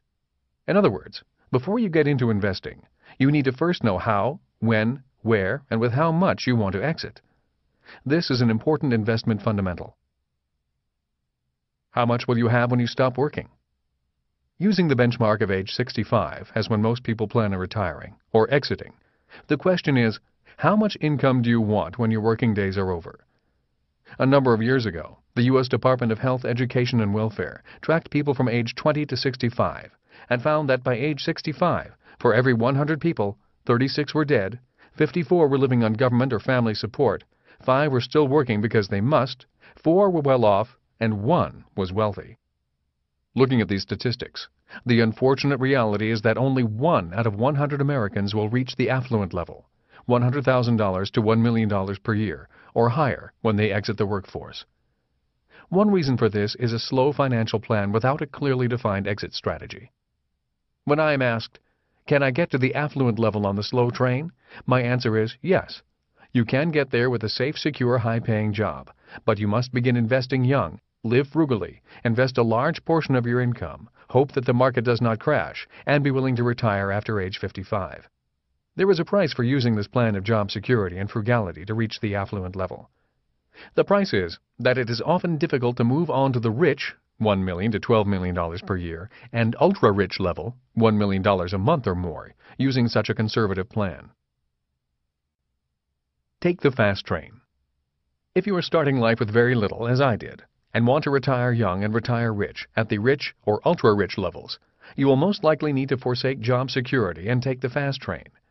In order to take the fast train, a person will need an open mind, high-speed ideas, better business and investment education, and a faster plan. These people will need to operate from a different mental context and content than that of the masses. People who use the job security and long-term investment plan to reach the affluent level often arrive without the content, context, and capacity to handle the rigors of the rich and ultra-rich levels. As my rich dad said, there is more to being rich than having a lot of money. My wife Kim and I decided to exit the rat race of life at the affluent level. That was our goal. Once we decided on our goal, in 1985, we worked backwards and developed our exit strategy, our investment plan, and then, and only then, did we determine our entry strategy. Once we had our exit strategy, we knew what to do and where to begin. For us, it was to ride on the fast train to build a business and invest in real estate. The hard work, lack of job security, and following the rigid schedule riding the fast train paid off. It took nine years from the time the plan was created until we achieved our goal. Because our investments brought us more than $100,000 in passive income per year, we were able to move on to the rich level simply because we had time, money, and the basic qualifications to move on to the next levels.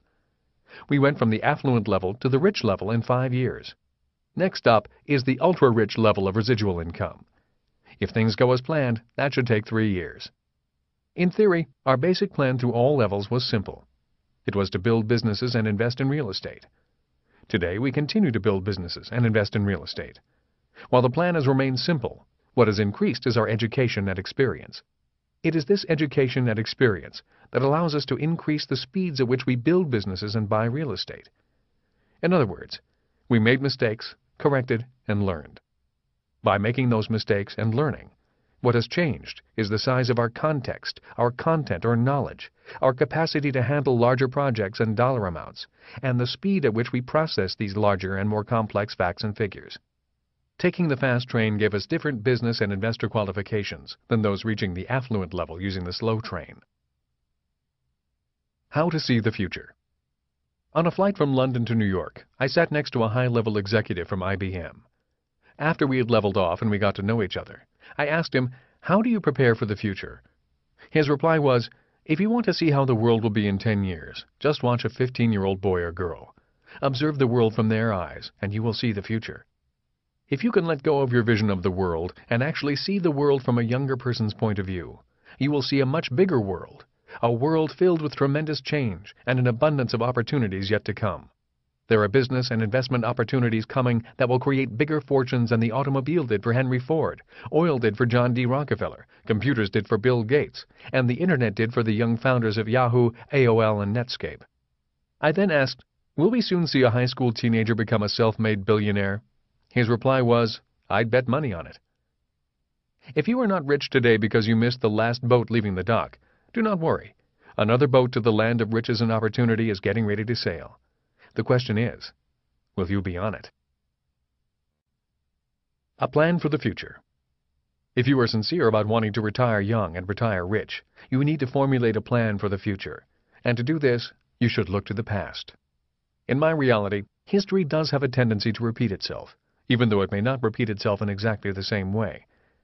Many adults miss the future or are run over by the future because their plans for the future have no vision of the past.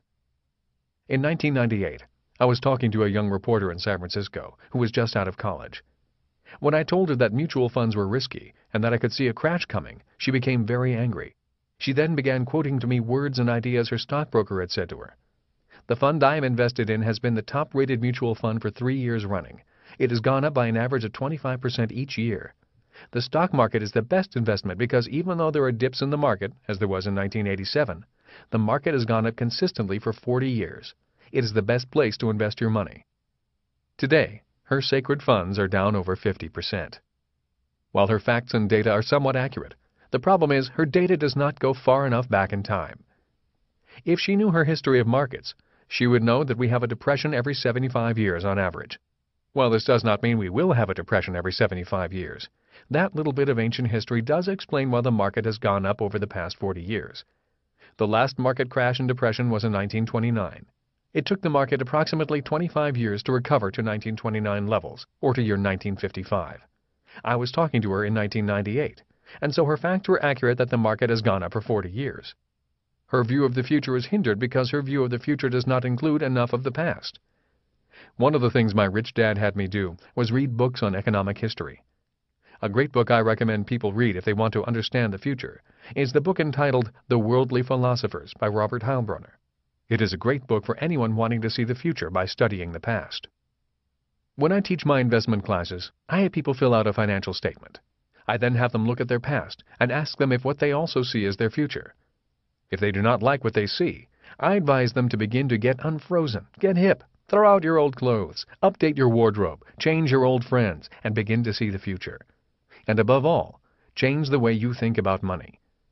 If you can change your context to be excited about the opportunities in the future, you have a better chance of retiring young and retiring rich. Seeing a rich future. Assuming that the poor earn $25,000 or less per year, the middle class makes $25,000 to $100,000 per year, the affluent $100,000 to $1 million per year, the rich $1 million or more a year, and the ultra-rich $1 million or more a month Many people cannot imagine a financially free future with $100,000 or more a year coming in without working. The reason many people cannot imagine having that much money is because they do not have it in their reality. Many people may dream of such dollar amounts and may say that someday they will make that much, but in reality, most people are just dreaming. The statistics verify this reality.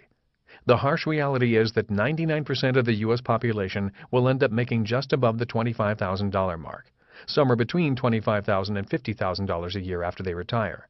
Most will follow in their parents' footsteps. Rich Dad always said, Your future is created by what you do today, not tomorrow. A plan is the bridge to your dreams. Your job is to make the plan or bridge real so that your dreams become real. If all you do is stand on this side of the bank and dream of the other side, your dreams will forever be just dreams. First make your plan real, and then your dreams will come true. Between 1985 and 1994, Kim and I worked on making our plan real rather than dreaming of our dreams. We practiced every day, preparing for the day when our window of opportunity would appear. Once it appeared, we took our shots and then the window closed. As Rich Dad said, your future is created by what you do today, not tomorrow. One of the first steps in changing your financial future is to stop doing today what you do not want in your future. Start asking yourself how you can learn to work for passive and portfolio income. Once you come up with some answers, make those answers a part of your plan. It may mean studying more, reading more books, listening to tapes, attending more seminars, starting a home-based business and meeting new friends. In other words, do today what you want for your tomorrows. How do you see the future? I am also often asked, how do I see the future if I cannot see it with my eyes? The answer is found in something my rich dad said to me years ago. Sight is what you see with your eyes. Vision is what you see with your mind. When I asked Rich Dad what improved a person's vision, he said, words and numbers. He stressed the importance of learning how to read financial statements, because you could not see your financial future if you could not read financial statements. In fact, if you cannot read a financial statement, you cannot see your financial past, present, or future. I created the cash flow games to assist people in improving their mind's vision by teaching them the numbers and vocabulary of rich people. One thing that has worked for many people is to get a group of friends together to play Cash Flow 101 on a regular basis. Once you have Cash Flow 101 mastered, you may want to teach it to others and inspire them to take action. And, or you may want to move on to Cash Flow 202, the more advanced game. The reality is, the more you play the game, the more you teach the game, and the more you make the game a part of your life, the better your vision of the future will become. Fast words for fast plans. If you want to create a fast plan, you need to learn to use fast words. When it comes to money, millions of people use word tools that are slow and antiquated. Rich Dad said, Words are tools for your brain. The reason so many people struggle financially is because they give their brain old, slow, and obsolete tools to use. If you want to be rich, you first need to update your tools. Most people think it is smart to save money. Saving money is slow. You can become rich saving money, but the price is time, your lifetime. So to me, save is a slow word. My poor dad taught me how to save money. My rich dad taught me how to raise capital. A student in one of my classes asked, but what if someone does not know how to raise capital? Then it is best you save money or invest some time learning how to raise capital. Raising capital is a learned skill. But isn't it difficult to ask people for money? asked the student. It was for me at first as learning anything new is. It's just like learning to ride a bike.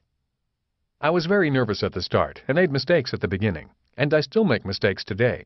Yet I learn from those mistakes, so my education and experience makes raising capital easier and easier the older I get. So while I struggle to save a $100 a month, you can raise millions of dollars in the same time, another student chimed in. That is what you mean by words are tools, and that some words are fast and others are slow. I just nodded and said, Words are tools for your brain. Plan to use faster words. If you are creating a plan to retire young and retire rich, you may need to update your vocabulary. And if you change your vocabulary, you may speed up your ideas. For example, if you use the words high-paying job, these are slow words, and cash flow are fast words. My poor dad always advised, get a high-paying job. My rich dad always advised, you want cash flow from assets. See the difference. Finding a high-paying job may seem like the fast way to get rich at the start, but in most cases it is the slow way to become rich in the end. Few people ever became rich via a job, even a high-paying one. Cash flow from assets is better than income from a job. As Rich Dad said, there is more to being rich than having a lot of money. The rich use a different set of words, and those words guide them to different life experiences experiences such as learning how to raise capital rather than save money. The words save money are slow words, while the words make money are fast words. In principle, as long as there are a ready market of buyers and sellers for whatever you may produce, then you are, within this context, making money. My books and audio cassettes are a form of making money. If I were a doctor who had to personally work to get paid, then I would be a doctor who worked for money. If I were a doctor who invented a new medicine and sold it in the form of a pill through pharmacies, that pill would be a form of the doctor making money rather than working for money. Another slow word is appreciation, while depreciation is a fast word. I hear friends say to me statements such as, I bought a lot in this new golf course community. It's a good investment, and I expect the lot will double in value in five years. To them, such returns are a good investment, and hopefully they will realize a doubling or appreciation of their money in five years. Rich Dad taught his son Mike and me to use different words. When it came to buying any investment, he always said, Your profit is made when you buy, not when you sell. Rich Dad invested for immediate returns in his investment, or cash flow. He also invested for a thing he called phantom cash flow, aka depreciation. He loved immediate cash flow and depreciation because he did not have to wait for his investment to appreciate in order for him to make money. He would say waiting for a stock or piece of real estate to appreciate in value was too slow and too risky. If you use the words avoid risk, these are slow words. But if you say gain control, these are fast words. Rich Dad told me, in order to be a player on the fast track, you will need to have a plan on how to gain more and more control. On the fast track, it is control more than money that counts. Considering risk versus control, Rich Dad said, the more a person seeks security, the more that person gives up control over their life. Today I see two worlds evolving. One world is the world I call the responsible society. It is the group that believes in being responsible for their lives and the ultimate outcome of their lives. There is another world that I call the victim society, which is the group that believe that someone else, a company, or the government is responsible for their lives. In any group, family, or company, there are usually both types of societies. Both see the world from their own context or reality, and both seem to think they are right. I have found that one of the dividing factors between both societies is their core view on the ideas of risk versus control. Victims tend to want to give control over their lives to someone else in order to avoid taking risks. Then they get angry when they feel someone abuses the control they granted the abuser in the first place. In other words, victims are often victims of themselves. Mutual funds are also slow words. 506 Regulation D are fast words. The reason I say that mutual funds are slow is because the big profits or appreciation in any paper asset is made at the formation of the company, prior to the company going public. When rich investors begin investing in the share of a company, they are often investing according to the terms and conditions spelled out by the Security and Exchange Commission, SEC's Regulation 506D, and other such regulations. In other words, the rich invest in shares of a company when the company is still a private company. The public invests in shares of a company after it becomes a public company. The differences can be enormous. For example, if you had invested $25,000 in Intel prior to it going public, that $25,000 might be worth more than $40 million today, depending on the ups and downs of the stock market. This does not mean mutual funds are not good investments. For most people, mutual funds are great investments. But they are better investments if you know what you are doing know what the risks are, and know the big picture of the whole game of investing in stocks and mutual funds, public and private. Knowing the words, vocabulary, and the jargon of the investments of the rich improves your chances of becoming richer quicker. The Leverage of Integrity From 1985 to 1989, Kim and I did not have any passive or portfolio income. We were working diligently at building a business so that we could have more leveraged earned income. All the extra money we earned went back into building the business. As the years crept on, I could hear my rich dad saying, The moment you make passive income and portfolio income a part of your life, your life will change. Those words will become flesh. Both my dads were sticklers for knowing the definition of words. They also said, You're only as good as your word. People who do not keep their word are not much good. One of the reasons so few people retire young and retire rich is that they are not true to their word. They use words that to them are not real. If you want to change your financial future, one of the most important and inexpensive steps you can take is to know the definitions of the words you use seriously. Some of the more basic, fundamental, and important words to understand are your personal current ratio, quick ratio, liquidity ratio, debt to earnings ratio, as well as the difference between assets and liabilities, and earned, portfolio, and passive income. All of these words are defined and explored in my previous books and audio programs, particularly Rich Dad's Guide to Investing and Rich Kid Smart Kid. Harnessing the Power of Words Why are words important? Simply because the concepts behind them can be useful to you and your life. For instance, understanding basic ratios, such as debt to equity or liquidity ratios, can help you in gaining your financial freedom. Let me explain. A useful ratio is your debt to equity ratio. For example, if you have long and short-term debt of let's say $100,000 and you have $20,000 in equity, then your debt to equity ratio would be 5 because you need to divide 100,000 by 20,000. The question is, what does this mean? Well, in reality, it means very little. Yet if next month your ratio is 10, that might tell you that you could be mismanaging your life. A debt to equity ratio of 10 could mean that either your debt has gone up to $200,000 or your equity has dropped to $10,000. In either case, those numbers have more meaning because they are real numbers that relate to your life. As Rich Dad said, mind your own business. And knowing these simple ratios are excellent tools for teaching yourself how to mind as well as manage your own business, the business of your life. One of the ratios Rich Dad had me watch and monitor was what he called the wealth ratio. His wealth ratio was passive income plus portfolio income to total expenses. The goal of calculating your wealth ratio was to have your passive and portfolio income equal or exceed your total expenses. This would mean you could quit your job, earned income source, and still maintain your lifestyle. Once your passive and portfolio income exceed your expenses, the ratio would be 1 or higher, and you would be out of the rat race. Kim and I knew the definitions of the words passive and portfolio income, and we knew we wanted them in our lives. But for five years, we did not have these two types of income. Suddenly, after the 1987 stock market crash and the seven year recession began, we knew that the window of opportunity had arrived. It was our time to make the words real. It was time to have a wealth ratio that was more than zero. We bought our first property in 1989, and by 1994 we had a little over $10,000 in passive income a month, and our total expenses were less than $3,000 a month. So, 10,000 divided by 3,000, that gave us a wealth ratio of 3.3. Today our wealth ratio is over 12, even though our expenses have gone up significantly. That is the power of making the words a part of your life. If you are serious about retiring young and retiring rich, you may want to make Rich Dad's wealth ratio a part of your life. Add power to your life. There are two points I want to make from this section on words, action, and integrity. One point is that a few simple definitions and simple numbers can add a lot of power to a person's life. Just as any good shopper would want to know the price per pound, each of us should be aware of our debt to equity ratios, your personal wealth ratio, and other simple mathematical indicators. The second point is that there is more to success than simply knowing the definitions of words and throwing around jargon in the attempt to sound intelligent. Too many people today use words they don't really understand.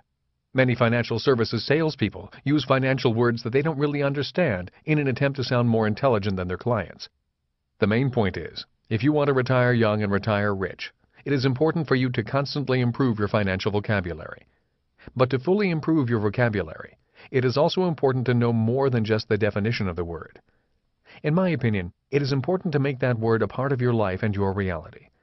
For example, when I say the word passive income, I say it with passion because it is an important part of my life.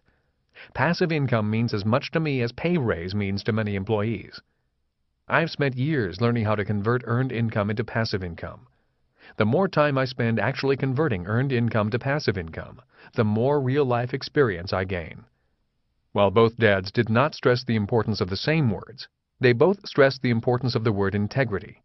Both dads agreed that one of the definitions of integrity was the correlation between a person's words and a person's actions. Both dads said, listen to what a person says, but more importantly, watch what a person does. My real dad constantly reminded his children about the importance of keeping one's word. He would say, ultimately, we are our words. If your words are no good, then so are you. That is why he also said, never make promises you don't plan to keep. One of the more simple, yet powerful parts of my plan to have a life of great wealth was to make sure I had the integrity to be true to my words and respect the power of words by matching my word to my actions. Rich Dad said, if you will keep your small agreements, you will keep your big agreements. A person who cannot keep his or her small agreements can never have bigger dreams come true. I bring this idea in now because there are so many people who have big plans, but their big plans never come true. The reason is, too many people have big plans but fail to keep their small agreements. As Rich Dad said, people who do not keep their small agreements are people who cannot be trusted. If you cannot be trusted with small agreements, People will not help you make your big dreams come true. If you cannot keep your word, then people fail to trust you and have little confidence in you and your words. So I pass on the words of wisdom from both my dads, and those words are, be sure your words and your actions are one. In summary, if you want to retire young and retire rich, take the time to constantly upgrade your financial vocabulary and have the integrity to walk the talk rather than just talk. Always remember that words are tools for the brain, and that there are fast words and slow words to wealth. The Leverage of Fairy Tales Rich Dad loved fairy tales, especially the story of the tortoise and the hare and the three little pigs. He absorbed their lessons, and those lessons guided his life. I remember him saying, Many times in life you will meet people who are smarter, faster, richer, more powerful, and more gifted than you. Just because they have a head start in you does not mean you cannot win the race. If you will keep faith in yourself, do the things that most people do not want to do, and keep making progress on a daily basis, the race of life will be yours. He would often intertwine the story of the tortoise and the hare with the story of the three little pigs. When I was around 12 years old, Rich Dad said, Poor people build financial houses made of straw. The middle class build financial houses made of sticks, and rich people build houses of brick. He would then add, To be a successful tortoise, it's okay to be slow, but be sure you are slowly building a house of bricks. In 1968, While at home for Christmas leave from the academy I attended in New York, Rich Dad and his son invited me to their new home, which was the penthouse of his new hotel. Remember me telling you those stories, Rich Dad said, as we gazed from his balcony over the white sand beach and crystal blue ocean. The stories of the tortoise and the hare and the three little pigs? I do, I said, still amazed at the beauty of their new home, high on top of their new hotel. I remember them well. Well, here is the house of bricks, he said with a grin. In 1968, while standing on the balcony of his penthouse, Rich Dad reminded me of another fairy tale. Do you know the story of the ugly duckling? he asked. I nodded my head as I leaned over the balcony. Well, most of my life I saw myself as the ugly duckling. When I dropped out of school at age 13, I saw the world as an outsider, someone who did not fit, someone who had been left behind. While working in my parents' store, high school boys would come in and push me around or damage the store, knocking cans off the shelves or throwing oranges out on the road and daring me to do something about it. Did you ever fight back? I asked. Twice, but I got pretty badly beaten, said Rich Dad. You used the story of the ugly duckling to keep you going, didn't you? I used the story of the ugly duckling, the story of the three little pigs, the story of David and Goliath, the story of the tortoise and the hare to keep me going. Instead of letting those bullies get me down, I used their actions to inspire me to do better. Today, I have a house of bricks, and we are in the penthouse in that house of bricks. You became the swan? I said with a smile. Well, I wouldn't go that far, Rich Dad chuckled. The point is that we can all grow, evolve, and make dramatic changes in our lives if we want to. The other point is that fairy tales can come true. Ugly ducks can become beautiful swans, and slow tortoises can win the race. From Slow Plan to Fast Plan. In one of my classes, a young woman asked, What is the first step? I explained that in 1989, two years after the market crashed and a recession set in, Kim and I were working on our plan. We had agreed that we would buy two pieces of real estate a year for 10 years. As the market crashed, we found more and more deals as more and more people panicked. In less than a year, we had purchased five small rental properties, each with a positive cash flow. I estimate that we had looked at over 600 properties just to find those five small houses that made investment sense. But now the market was getting worse, and more and more deals were appearing. The problem was, we were out of money. I realized that we were at the limits of our context, our reality. So it was time to change your reality? asked another student. Yes, I said. It was time to change, or miss a window of opportunity. The first thing I did was admit to myself that I was being a tortoise who wanted to quit, and it was not time to quit, it was time to push on. Keeping the lessons from those fairy tales in mind, I continued instead of giving up. One day after Kim and I had just come back from a trip, the phone rang. The call was from my favorite real estate broker. I just found the deal of the day, he said. If you are interested in it, I'll give you a half hour head start before I tell another one of my clients. He told me it was a 12-unit apartment house that was in a great area, and it was only $335,000, $35,000 down, and the seller was anxious to sell. The broker then faxed me the sales data on the property with a rough pro forma on income and expenses. I told the broker to give me half an hour, and I would drive out immediately to look at it. When I got there, I realized why it was such a great deal, so I dashed to a payphone and told the broker I would take it. Even though we had no money, I offered the sellers what they were asking, which was $35,000 down, and they would carry the $300,000 at 8% interest for five years. It was such a great deal that I could not pass it up. My only problem now was to find the $35,000 in 30 days, which was when the couple wanted to move out. So how did you afford it? asked the student. Or did you afford it? Finally, after sweating, praying, and doing our best not to quit, we took our paperwork to our bank and presented our story to the bank manager. After he turned us down, I asked him why he turned us down, and what could I have done better. Then I went to the next bank, with the first banker's improvements incorporated into our pitch, and was again turned down. Each time our presentation was clearer and much more professional. We could now explain in banker's words why it was such a great investment. The sixth banker said yes. He had the $35,000 check for us in two days, and with three days to spare, we went to the escrow office and bought the 12-unit apartment house. What happened after that? asked the student. The real estate market continued to slide, and even though we still had very little money, we kept buying. By 1994, the market turned up and we were financially free for the rest of our lives. That 12-unit apartment building sold for over $500,000 in 1994 and had put over $1,100 a month in our pocket during that period. The $165,000 in capital gains were rolled tax-deferred into a 30-unit apartment house, which is one of the apartment houses we still have today. That 30-unit apartment house began putting a little bit more than $5,000 a month in our pocket each month. With the other properties and investment we had, we were earning over $10,000 a month in passive income, which put us at the affluent level and we retired.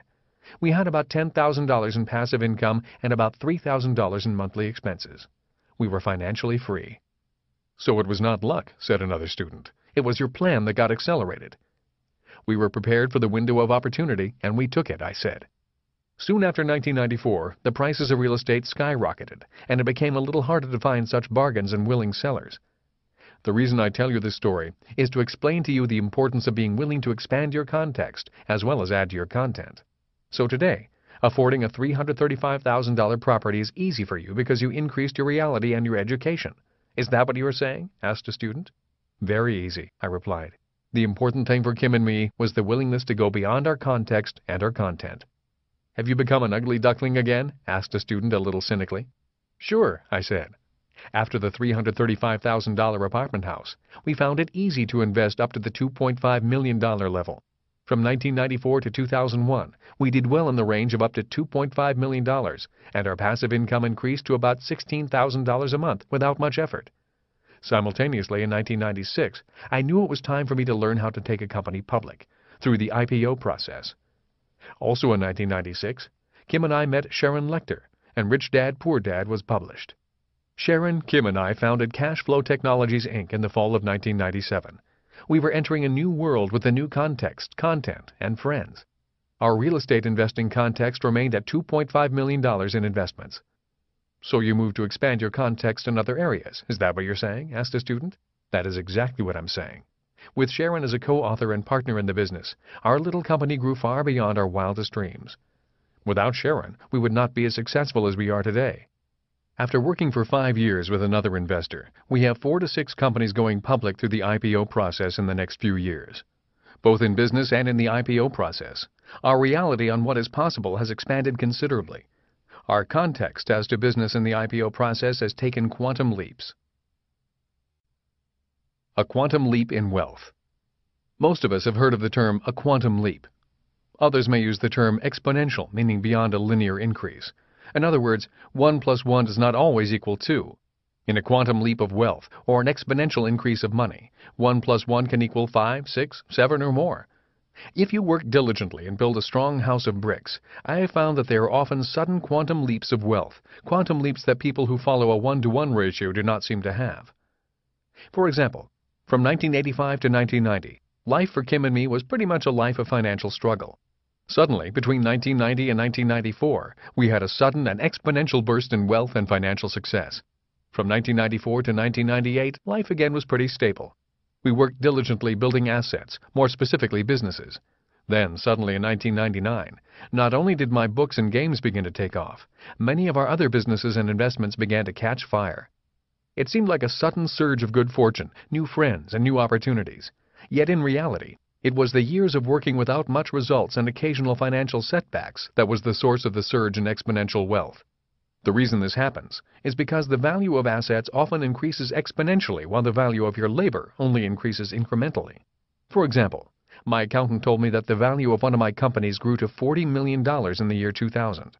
That was the price she thought we could sell it for if we wanted to sell it. At the same time, one of my attorneys raised his hourly rate by $25 an hour. That is an example of assets increasing exponentially and income increasing incrementally. When I look at the success of Rich Dad Poor Dad and our company RichDad.com, much of our current success is due in large part to my failures of the past. Sharon and Kim also had their setbacks, disappointments in business, and yet those setbacks became the lessons learned that contribute to our combined success today. I mention all this as a way of encouraging you to keep going, even though you may encounter some setbacks along your life's path. If you will learn from each setback, rather than blame or make excuses, your wealth of knowledge will increase. If you steadily work to be more and more generous, work to serve more and more people, work to increase your leverage ratios, I am quite certain that you too will experience these sudden bursts, quantum leaps, or exponential jumps in wealth. Going back to the stories that Rich Dad liked so much, it seems that even turtles can be pushed along with a sudden gust of tailwind. The Power of Networks I came across a law known as Metcalfe's Law that partially explains the quantum leap or exponential burst of wealth. Robert Metcalfe is one of the founders of 3Com, the company that brought you the Palm Pilot.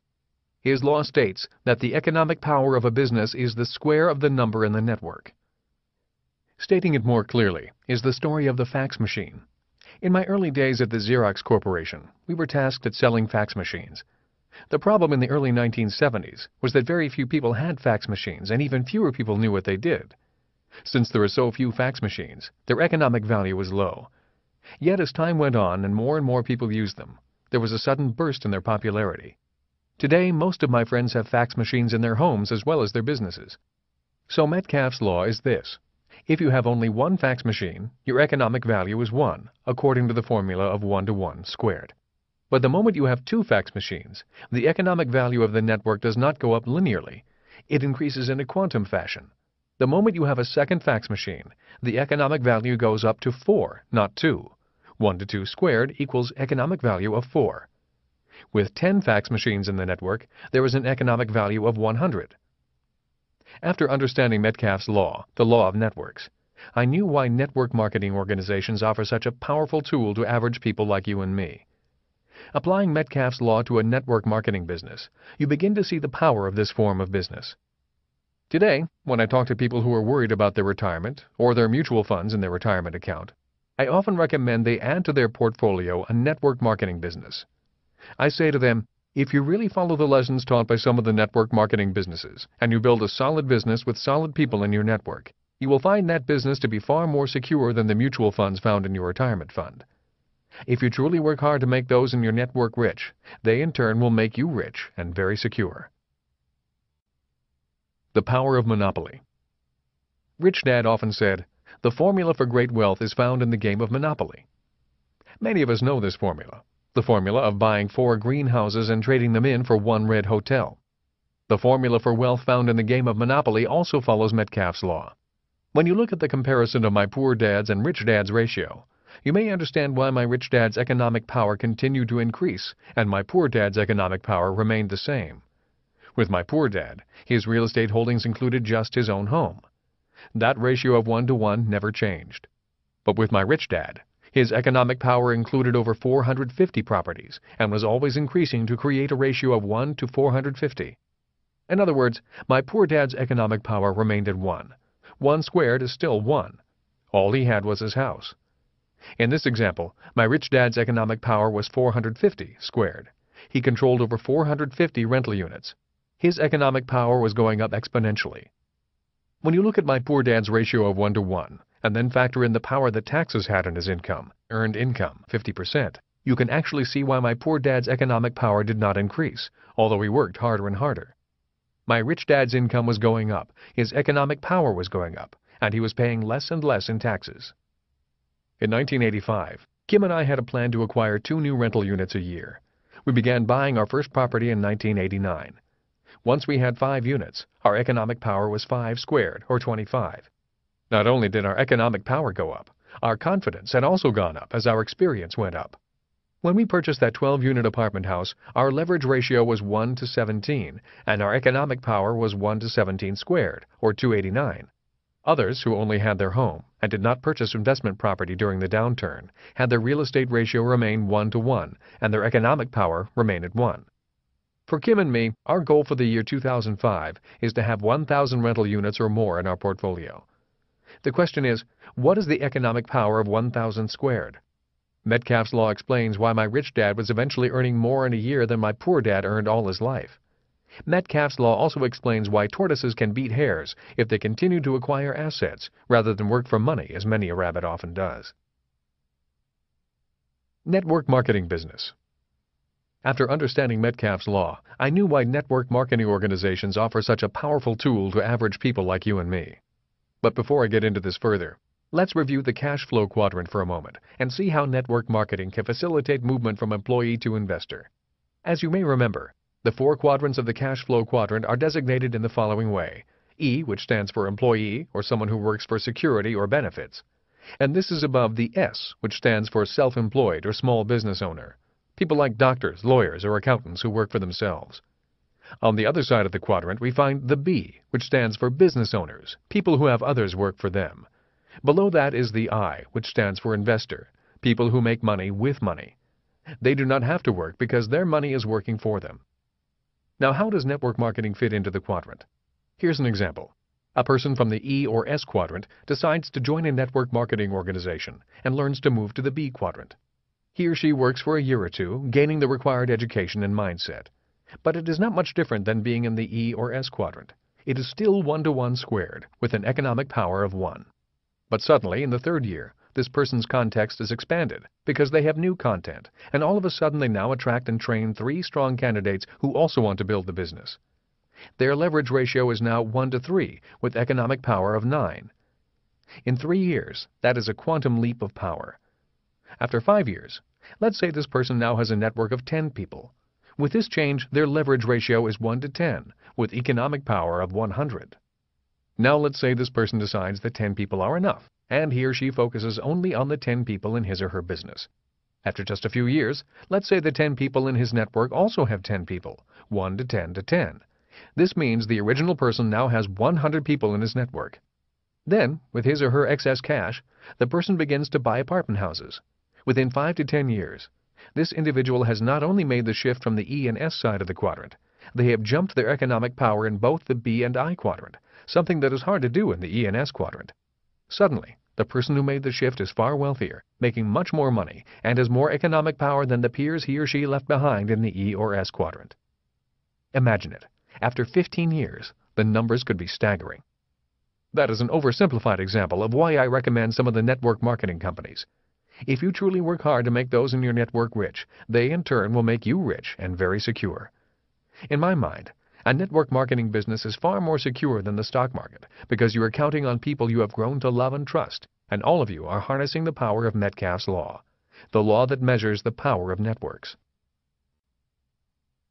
Networks harness the power of generosity. The rich and powerful understand the power of networks. McDonald's is a network of hamburger stands linked throughout the world. General Motors is a network of car dealerships throughout America. Exxon is an oil company with oil fields, tankers, pipelines, and gas stations linked throughout the world. If the rich and powerful use networks, shouldn't you? Safeway is a chain of food stores that distributes food throughout the country. CBS, NBC, ABC, CNN, PBS, CBN are very powerful communication networks. Rich Dad said, if you want to be rich, you must build networks and link your network with other networks.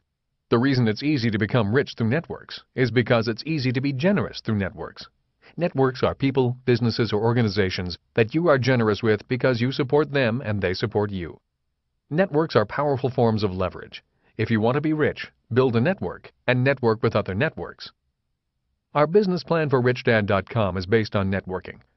Today we network with AOL, Time Warner, Time Life, PBS, publishers in 40 different countries, many church organizations, and several network marketing companies. We work together to make each other stronger and more viable, as well as wealthier. There is a give and take, a sharing of strengths and minimizing of weaknesses that make us all stronger. We have found that through being cooperative and focused on making sure the people we do business with do well financially, we grow exponentially. I have noticed that individuals or businesses that primarily focus only on making themselves rich or taking more than they give do not make good network partners.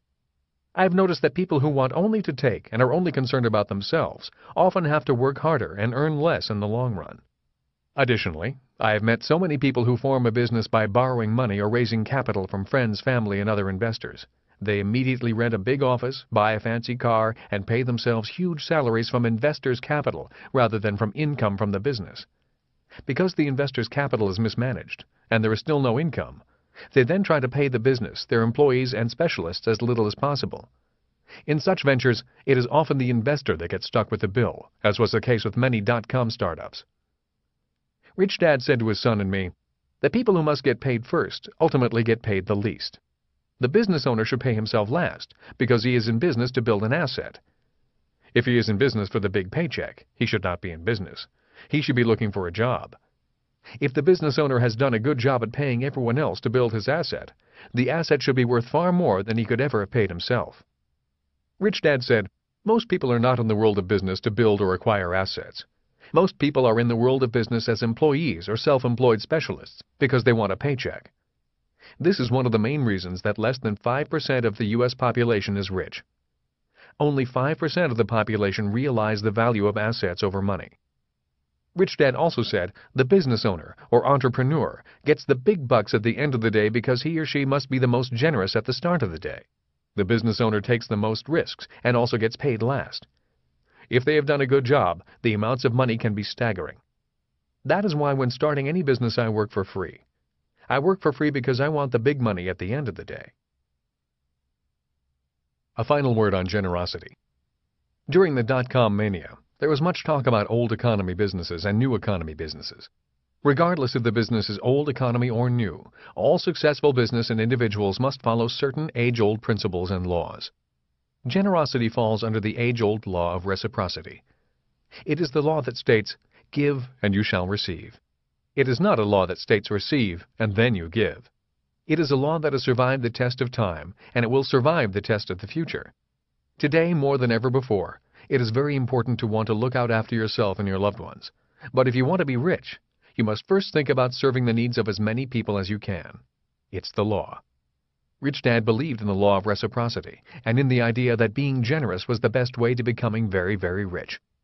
It was his context on life, and his actions were in integrity with his context. Not only did Rich Dad believe in being generous by serving more and more people, he also believed in being generous with his money. In that line of thinking, he truly believed in the power of tithing, or the power of giving money. That is why Rich Dad gave generously to his church, charities, and schools. He gave money because he wanted more money. He would often say, God does not need to receive, but humans need to give. If you have a hard time giving money, you may want to start giving a little at a time on a regular basis. Each time you give, you will hear your context or your reality speaking loudly to you. The moment you give, if only a dollar, to your church or favorite charity, your world is changed.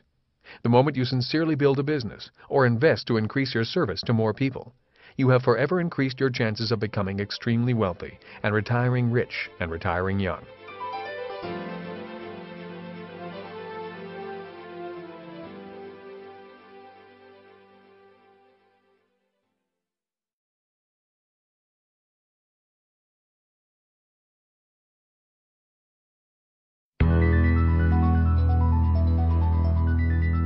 The leverage of action.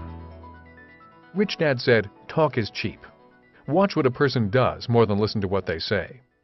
The first two sections of this program have been primarily about the mental and planning process of acquiring great wealth. Both processes are important to retiring young and retiring rich. But this next section is what one can and must do in order to retire young and retire rich. There are many books written on how to become rich. The problem with many of them is they tell you to do things that are often too hard for most people to do. This section of the program is about the simple things that almost everybody can do. After listening to this section, you will know that you have the ability to become very rich, if you want to. Or, at a minimum, you will find one or two things that you can do that will make you richer, if you choose to do them. But you need to ask yourself how badly do you want to become rich? Although the mental and planning processes are important, Ultimately, it is what you do with what you know that counts. As Rich Dad said, talk is cheap. The leverage of habits. Rich Dad said, there are habits that make you rich and habits that make you poor. Most poor people are poor because they have poor habits. If you want to be rich, all you have to do is train yourself to have rich habits. If you are serious about becoming rich, you must do the following things over and over again, from now until forever, for the rest of your life. Habit number one. Hire a bookkeeper. Before your banker will lend you the million dollars, he or she will want to know that you are trustworthy with the money. One of the ways the banker will feel comfortable lending you that much money is if you have clean professional financial records in the form of a financial statement. Most people cannot qualify for large loans simply because they have poor records. Even if you do not have a business, your personal life is a business, and all real businesses have bookkeepers. That is why I strongly recommend you hire a bookkeeper and keep a bookkeeper for life. By having a bookkeeper keep your income, expenses, assets, and liabilities in line, you begin to keep professional records. I also strongly recommend you sit down with your bookkeeper and go over your numbers each and every month. Repetition is how we learn, and by repeatedly going over your monthly numbers, not only do you establish a good habit, you gain more insights into your spending patterns, you can make corrections earlier, and you ultimately take control over your financial life. Why not do your own record keeping? Why hire an outsider? Some of the reasons are first, you want to start being a professional B or I quadrant person. All professional B and I quadrant people have professional bookkeepers. So treat your personal financial life as a business now. Second, you want a disinterested outside third party to look objectively at your money and your spending habits. By having a person who is not emotionally attached to your finances, he or she can put things in clear, logical order and speak to you clearly and logically. Third, my poor dad did not want to look at his financial situation. He kept our financial troubles a personal secret, a secret from himself, his family, and from anyone else. Psychologists will tell you that family secrets become toxic, which means secrets poison the family. I know the emotional pain from our financial struggles did indeed affect all of us. Fourth, by hiring an emotionally unattached professional bookkeeper, you can bring your financial challenges out into the open, thereby bringing the subject of money and the business of your life out into the open. If it is in the open and you discuss your finances with a professional, you are more able to make the changes or tough decisions you need to make before the financial problems become toxic. Fifth, if you earn less than $50,000, a professional bookkeeper should not cost more than 100 to $200 a month. As Rich Dad always said, there is good debt and bad debt, good income and bad income, and good expenses and bad expenses. He told me that hiring a bookkeeper and other professional financial advisors was money that went for good expenses, simply because these were expenses that made you richer, your life easier, and prepared you for a better future. If you truly cannot afford a bookkeeper, then find one and trade services. Finally, and most importantly, hiring a professional bookkeeper reaffirms to yourself that you are taking your personal financial life seriously. It means that at least once a month, you sit down with your bookkeeper, are held accountable, learn, correct, and redirect the financial future of your life. Habit number two create a winning team. In Rich Dad's Guide to Investing, I wrote that the B quadrant and the I quadrant are team sports. One of the reasons people from the E and S quadrants have trouble transitioning is because they are not used to having a team assisting them with their financial plans and financial decisions. After your bookkeeper gives you your monthly financial statements, meet with your team on a monthly basis. You may want a banker, accountant, attorney, stockbroker, real estate broker, insurance broker, and others. Each professional comes to the table with a different set of eyes and different ways of solving your problems. Just because you have many opinions does not mean you have to follow any of them. The most important thing is that you do not keep your money problems a secret. You listen to people smarter than you in different areas of expertise, and ultimately, you make your own decision. So start gathering your team. If you cannot afford a high-priced team, you may want to find a retired person who enjoys helping and guiding people. Many times, all you have to do is buy them lunch. You will be surprised how many people simply enjoy being asked to share their life's experience in helping others. All you have to do is be respectful, not argue, and listen intently. Do this once a month, and your future will be enriched forever. Habit number three. Constantly expand your context and your content. We now live in the information age, not in the industrial age. In the information age, your greatest asset is not your stocks, bonds, mutual funds, businesses, or real estate. Your greatest asset is the information in your head and the age of your information. Too many people are falling behind because the information in their heads is ancient history, or they cling to answers that were right yesterday but wrong today. If you want to retire young and retire rich, you will need to keep up with a world of rapidly changing information. Keep learning by listening to audio programs, reading financial books, and subscribing to online resources that deal with financial education. Our website lists many resources from our company that can get you started. You can also check the bibliographies of the Rich Dad book series for other important titles. Habit number four. Keep growing up. Rich Dad often said, people get older, but they do not necessarily grow up. Many people run from mom and dad's shelter to the shelter of a company or the government. Many expect someone else to take care of them or be responsible for their lack of wisdom and common sense. That is why they seek job security or government sanctuaries. Too many people spend their lives looking for guarantees and avoiding risk. Government safety nets were created in the industrial age for the very needy. Today, unfortunately, many people, even highly educated and highly paid, are still counting on the government to take care of them. We are in the information age, and it is time that we as a culture begin to grow up and mature financially. Leave the government safety nets and social programs for those that really need them. But also realize that the world is changing and that there isn't much job security and financial security anymore. People are counting on the stock market to assure their security.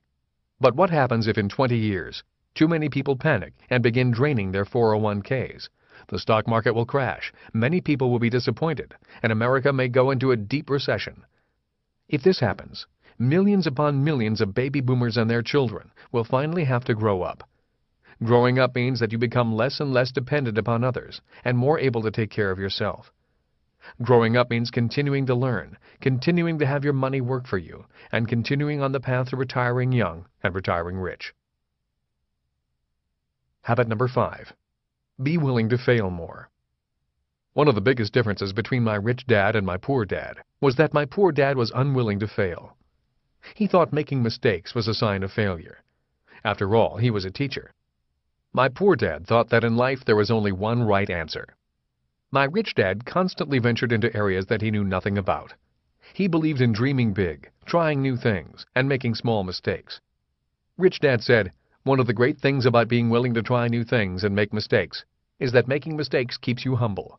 People who are humble learn more than people who are arrogant.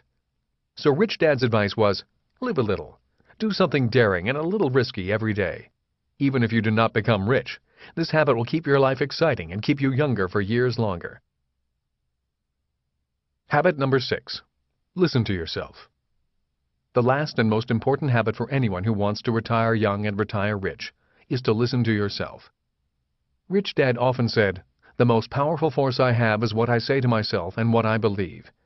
What Rich Dad meant by your most powerful force goes back to the biblical concept that your words become flesh. In other words, pay close attention to what you are saying to yourself, because what you are saying to yourself is what you are becoming each and every day. Notice the thoughts you don't want. Change to thoughts about things you want. Notice feelings you don't want. Change to feelings you want. Take action and keep going, correcting if necessary, until you get what you want, rather than what you don't want. If you can make these simple habits part of your lifelong habits, the action steps in the next section will be easy for you to realize and make you richer than your wildest dreams. The leverage of your money. On March 12, 2001, the stock market channels were crying the blues about the crash of the stock market. On March 10, 2000, just a year earlier, the Nasdaq was at an all-time high of 5048.62. On this day, March 12, 2001, the Nasdaq was at 1923, a 62% fall in approximately a year. Also on this single day, shareholders lost $554 billion on all exchanges. On one of the financial television channels, a commentator said something I've been concerned about for years. He said, many rich investors are only getting richer in this market fall. They get rich because they go in and out of the market. I feel for the working person that has just had their pension plan wiped out. They left their retirement money in the market because they have to. My wife Kim was also watching the program and listening to the commentator. Kim said, Watching your retirement plan get wiped out must be like watching your house burn and not having a hose to put the fire out. In Rich Dad's Guide to Investing, I stated that the poor and middle class invest in mutual funds and the rich invest in hedge funds. While many people claim hedge funds are too risky, I tend to disagree. I think mutual funds are far riskier, simply because most mutual funds tend only to do well when the markets go up. At least with some hedge funds, you can make money in an up market as well as a down market. Is your money just sitting there doing nothing? One of the reasons people work so hard all their lives is simply because they were taught to work harder than their money. When most people think of investing, many just park their money either in a savings account or in their retirement account as they continue on with their life of hard work. While they work, they hope their money is working too. Then when something like a financial disaster comes along, their parked money gets decimated and most people have no financial disaster insurance. Rich Dad said, most people spend their lives building financial houses of straw houses which are susceptible to wind, rain, fire, and big bad wolves. That is why Rich Dad taught his son and me how to keep our money moving. If you want to retire young and retire rich, you will need to work harder and faster. Your money will have to do the same thing. How fast is your money? One of the reasons Kim and I retired early was because we kept our money moving. Rich Dad often referred to this concept as the velocity of money. If you want to retire young and retire rich, It is very important that your money be like a bird dog, going out every day and bringing home more and more assets. Today, many financial planners and mutual fund managers say to the average investor, just give us your money and we'll put your money to work for you. Most investors nod and repeat the mantra, invest for the long term, buy and hold, and diversify. Their money gets parked and they go back to work. For most investors, these are pretty good ideas, given that most investors have no interest in learning how to put their money to work, since they seem to prefer working harder than their money. The trouble with these plans of average investors is that they are not necessarily productive investment strategies, nor are they necessarily safer. Kim and I did not keep our money in a retirement account in order to retire young. We knew that we had to keep our money working, working hard to acquire more and more assets. Once our money acquired an asset, that money was soon re-employed to go out and get us another asset. The strategy we use to keep our money moving and acquiring more and more assets is a strategy that almost everyone can use. Keep the money moving. One of the strategies we used to keep our money moving was to buy a rental property and within a year or two borrow out our own down payment and buy another rental property. The following is an example of how we invested and then borrowed money to invest in other assets. In 1990, Kim and I noticed a house for sale in a beautiful neighborhood in Portland, Oregon. The owner was asking $95,000, but the property did not sell.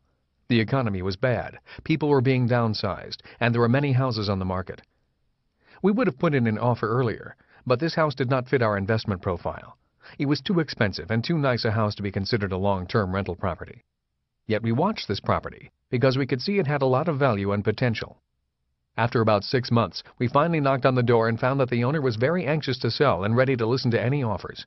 He owed $56,000, so I offered $60,000 and we settled on $66,000. I gave him $10,000 and we took over his existing mortgage. A month later, the owner and family had moved out and were on their way to California, happy to have sold their home. They did not make much money and they did not lose much money. The house rented immediately, and we wound up making about $75 a month positive cash flow after paying all debt and expenses. About two years later, the market had improved and many people were making us offers to buy it, the best offer being $86,000. Kim and I did not take the offer, although it was tempting. If we had sold, we would have realized approximately a 100% per annum return on our down payment. We felt the house could eventually reach the $150,000 range in three to five years. Instead of selling this house, we decided to begin buying more, now that the market was turning in sales price and also rental income. Given the strong market indications, Kim and I applied for a home equity loan. The balance on the mortgage was now less than $55,000, and the appraisal came in at around $95,000. The rent could cover a mortgage of around $70,000, so we refinanced the house and put approximately $15,000 in our pocket. We had gotten our money back and we still had the asset. Within a few months, after looking at several hundred properties, we found our new target. It was a great house in the same neighborhood. The house did not show well since the owner had let his children live in it rent-free for years. The asking price was $98,000, and after several offers and counteroffers, we purchased it for $72,000, put $4,000 into paint and repairs, and put it up for rent. Late in 1994, we sold both houses for just under $150,000 each and took that money to buy a larger apartment house in Arizona, where the market prices were still depressed. Besides keeping our money moving, there are a number of points I would like to point out. 1. We did well because the market was down, and that gave us time to look for and negotiate sensible investments. If the market were up, we would tend to look harder and be even more cautious. 2. The investments had to make sense today, not tomorrow. Rich Dad always said, your profit is made when you buy, not when you sell. Every property we bought had to have a positive cash flow on the day we bought it and had to have a positive cash flow even in a bad economy. If the market had not gone up, Kim and I would still be happy with the investment. 3. As stated earlier in this program, every investor has an exit strategy before they enter the market. Since this was a new type of market, even though it was investing in real estate, it was a different type of real estate investment. This difference required we start over again, doing our research and coming up with different entry and exit strategies. 4. Those two houses would sell for $200,000 to $250,000 today, now that the Portland, Oregon market has recovered. The reason we sold early was to leave some money on the table for the next buyer, also to take advantage of a market that was down and about to move up, in this case the Phoenix market, and because our investment portfolio had changed. We no longer held single-family homes. We had now graduated to larger and larger apartment houses, again for more leverage. 5. Know the difference between being an investor and a trader. We were investors when we were willing to buy and hold the properties for their cash flow. We were traders when we knew our entry as well as our exit strategy. In other words, an investor buys to hold and a trader buys to sell. If you want to retire rich, you need to know how they are different and how to be both. 6. Kim and I invest for the long term. But to us, investing for the long term does not mean parking your money, leaving it in one big pile, thinking you're diversified when in reality all of your investments are in one vehicle, a vehicle such as mutual funds, and then hoping that the wind does not blow or a fire does not break out. Investing to us means being in the market every day of our lives, gathering more information, gaining more and more real-life experience, and keeping our money moving. I want my money back. If you are a sophisticated investor, you want your money back, and you want to keep the asset too. That is the reason I love investing. I get to keep what I purchased and get my money back. If you can understand this principle of investing, you will understand what the velocity of money means. It means you want your money back as quickly as possible so it can be reinvested to acquire other assets. More than one way to speed up your money. This idea of the velocity of your money does not only apply to real estate. The idea of velocity of money is really a principle or mental tool of the rich. Once you understand the principle, you want to be able to apply it in everything you do. Velocity of money is an important aspect of leverage. Another way of increasing the velocity of money is through knowing the tax laws and using corporate entities. For example, let's say someone owns a business and also owns part of a second business that invests in real estate. Rental expense from one company flows to the rental income of the other company. As you may know, a business is taxed after expenses, while the individual is taxed before expenses. So an individual who rents a house pays for that house with after-tax dollars. The business can pay that rent with pre-tax dollars. The rental income goes to another corporate entity, but this income is now classified as passive income rather than earned income. There is an exception, where the ownership of the two companies is the same, where the income must be treated as earned income. For example, if you have a business in your home and pay yourself rent, you would have to treat that income as earned income. Passive income, if managed properly, can flow to the individual or the business paying substantially less in taxes. A person who manages his or her business and investment portfolio in this manner can keep their money moving faster while paying much less in taxes. If it flowed into only one corporate entity, it would stagnate and be taxed heavily. Velocity of money with paper assets. The idea of the velocity of money applies to all assets, including paper assets. When someone looks at a stock's PE, price to earnings ratio, they are looking at the velocity in many ways. When someone says the stock's PE ratio is 20, it means it will take you 20 years to get your money back, based upon today's price and earnings. The Rule of 72 The Rule of 72 is another measure of money's velocity. This rule measures the interest, or annual percentage growth of something. For example, if you receive 10% interest on your savings, your money will double in 7.2 years. If your stock is appreciating in value by 5% per year, that means it will take 14.4 years to double your money. If it appreciates by 20% per year, then it will take 3.6 years to double in value. The rule of 72 is simply dividing the number 72 by the interest or the percentage of gain in value to give the relative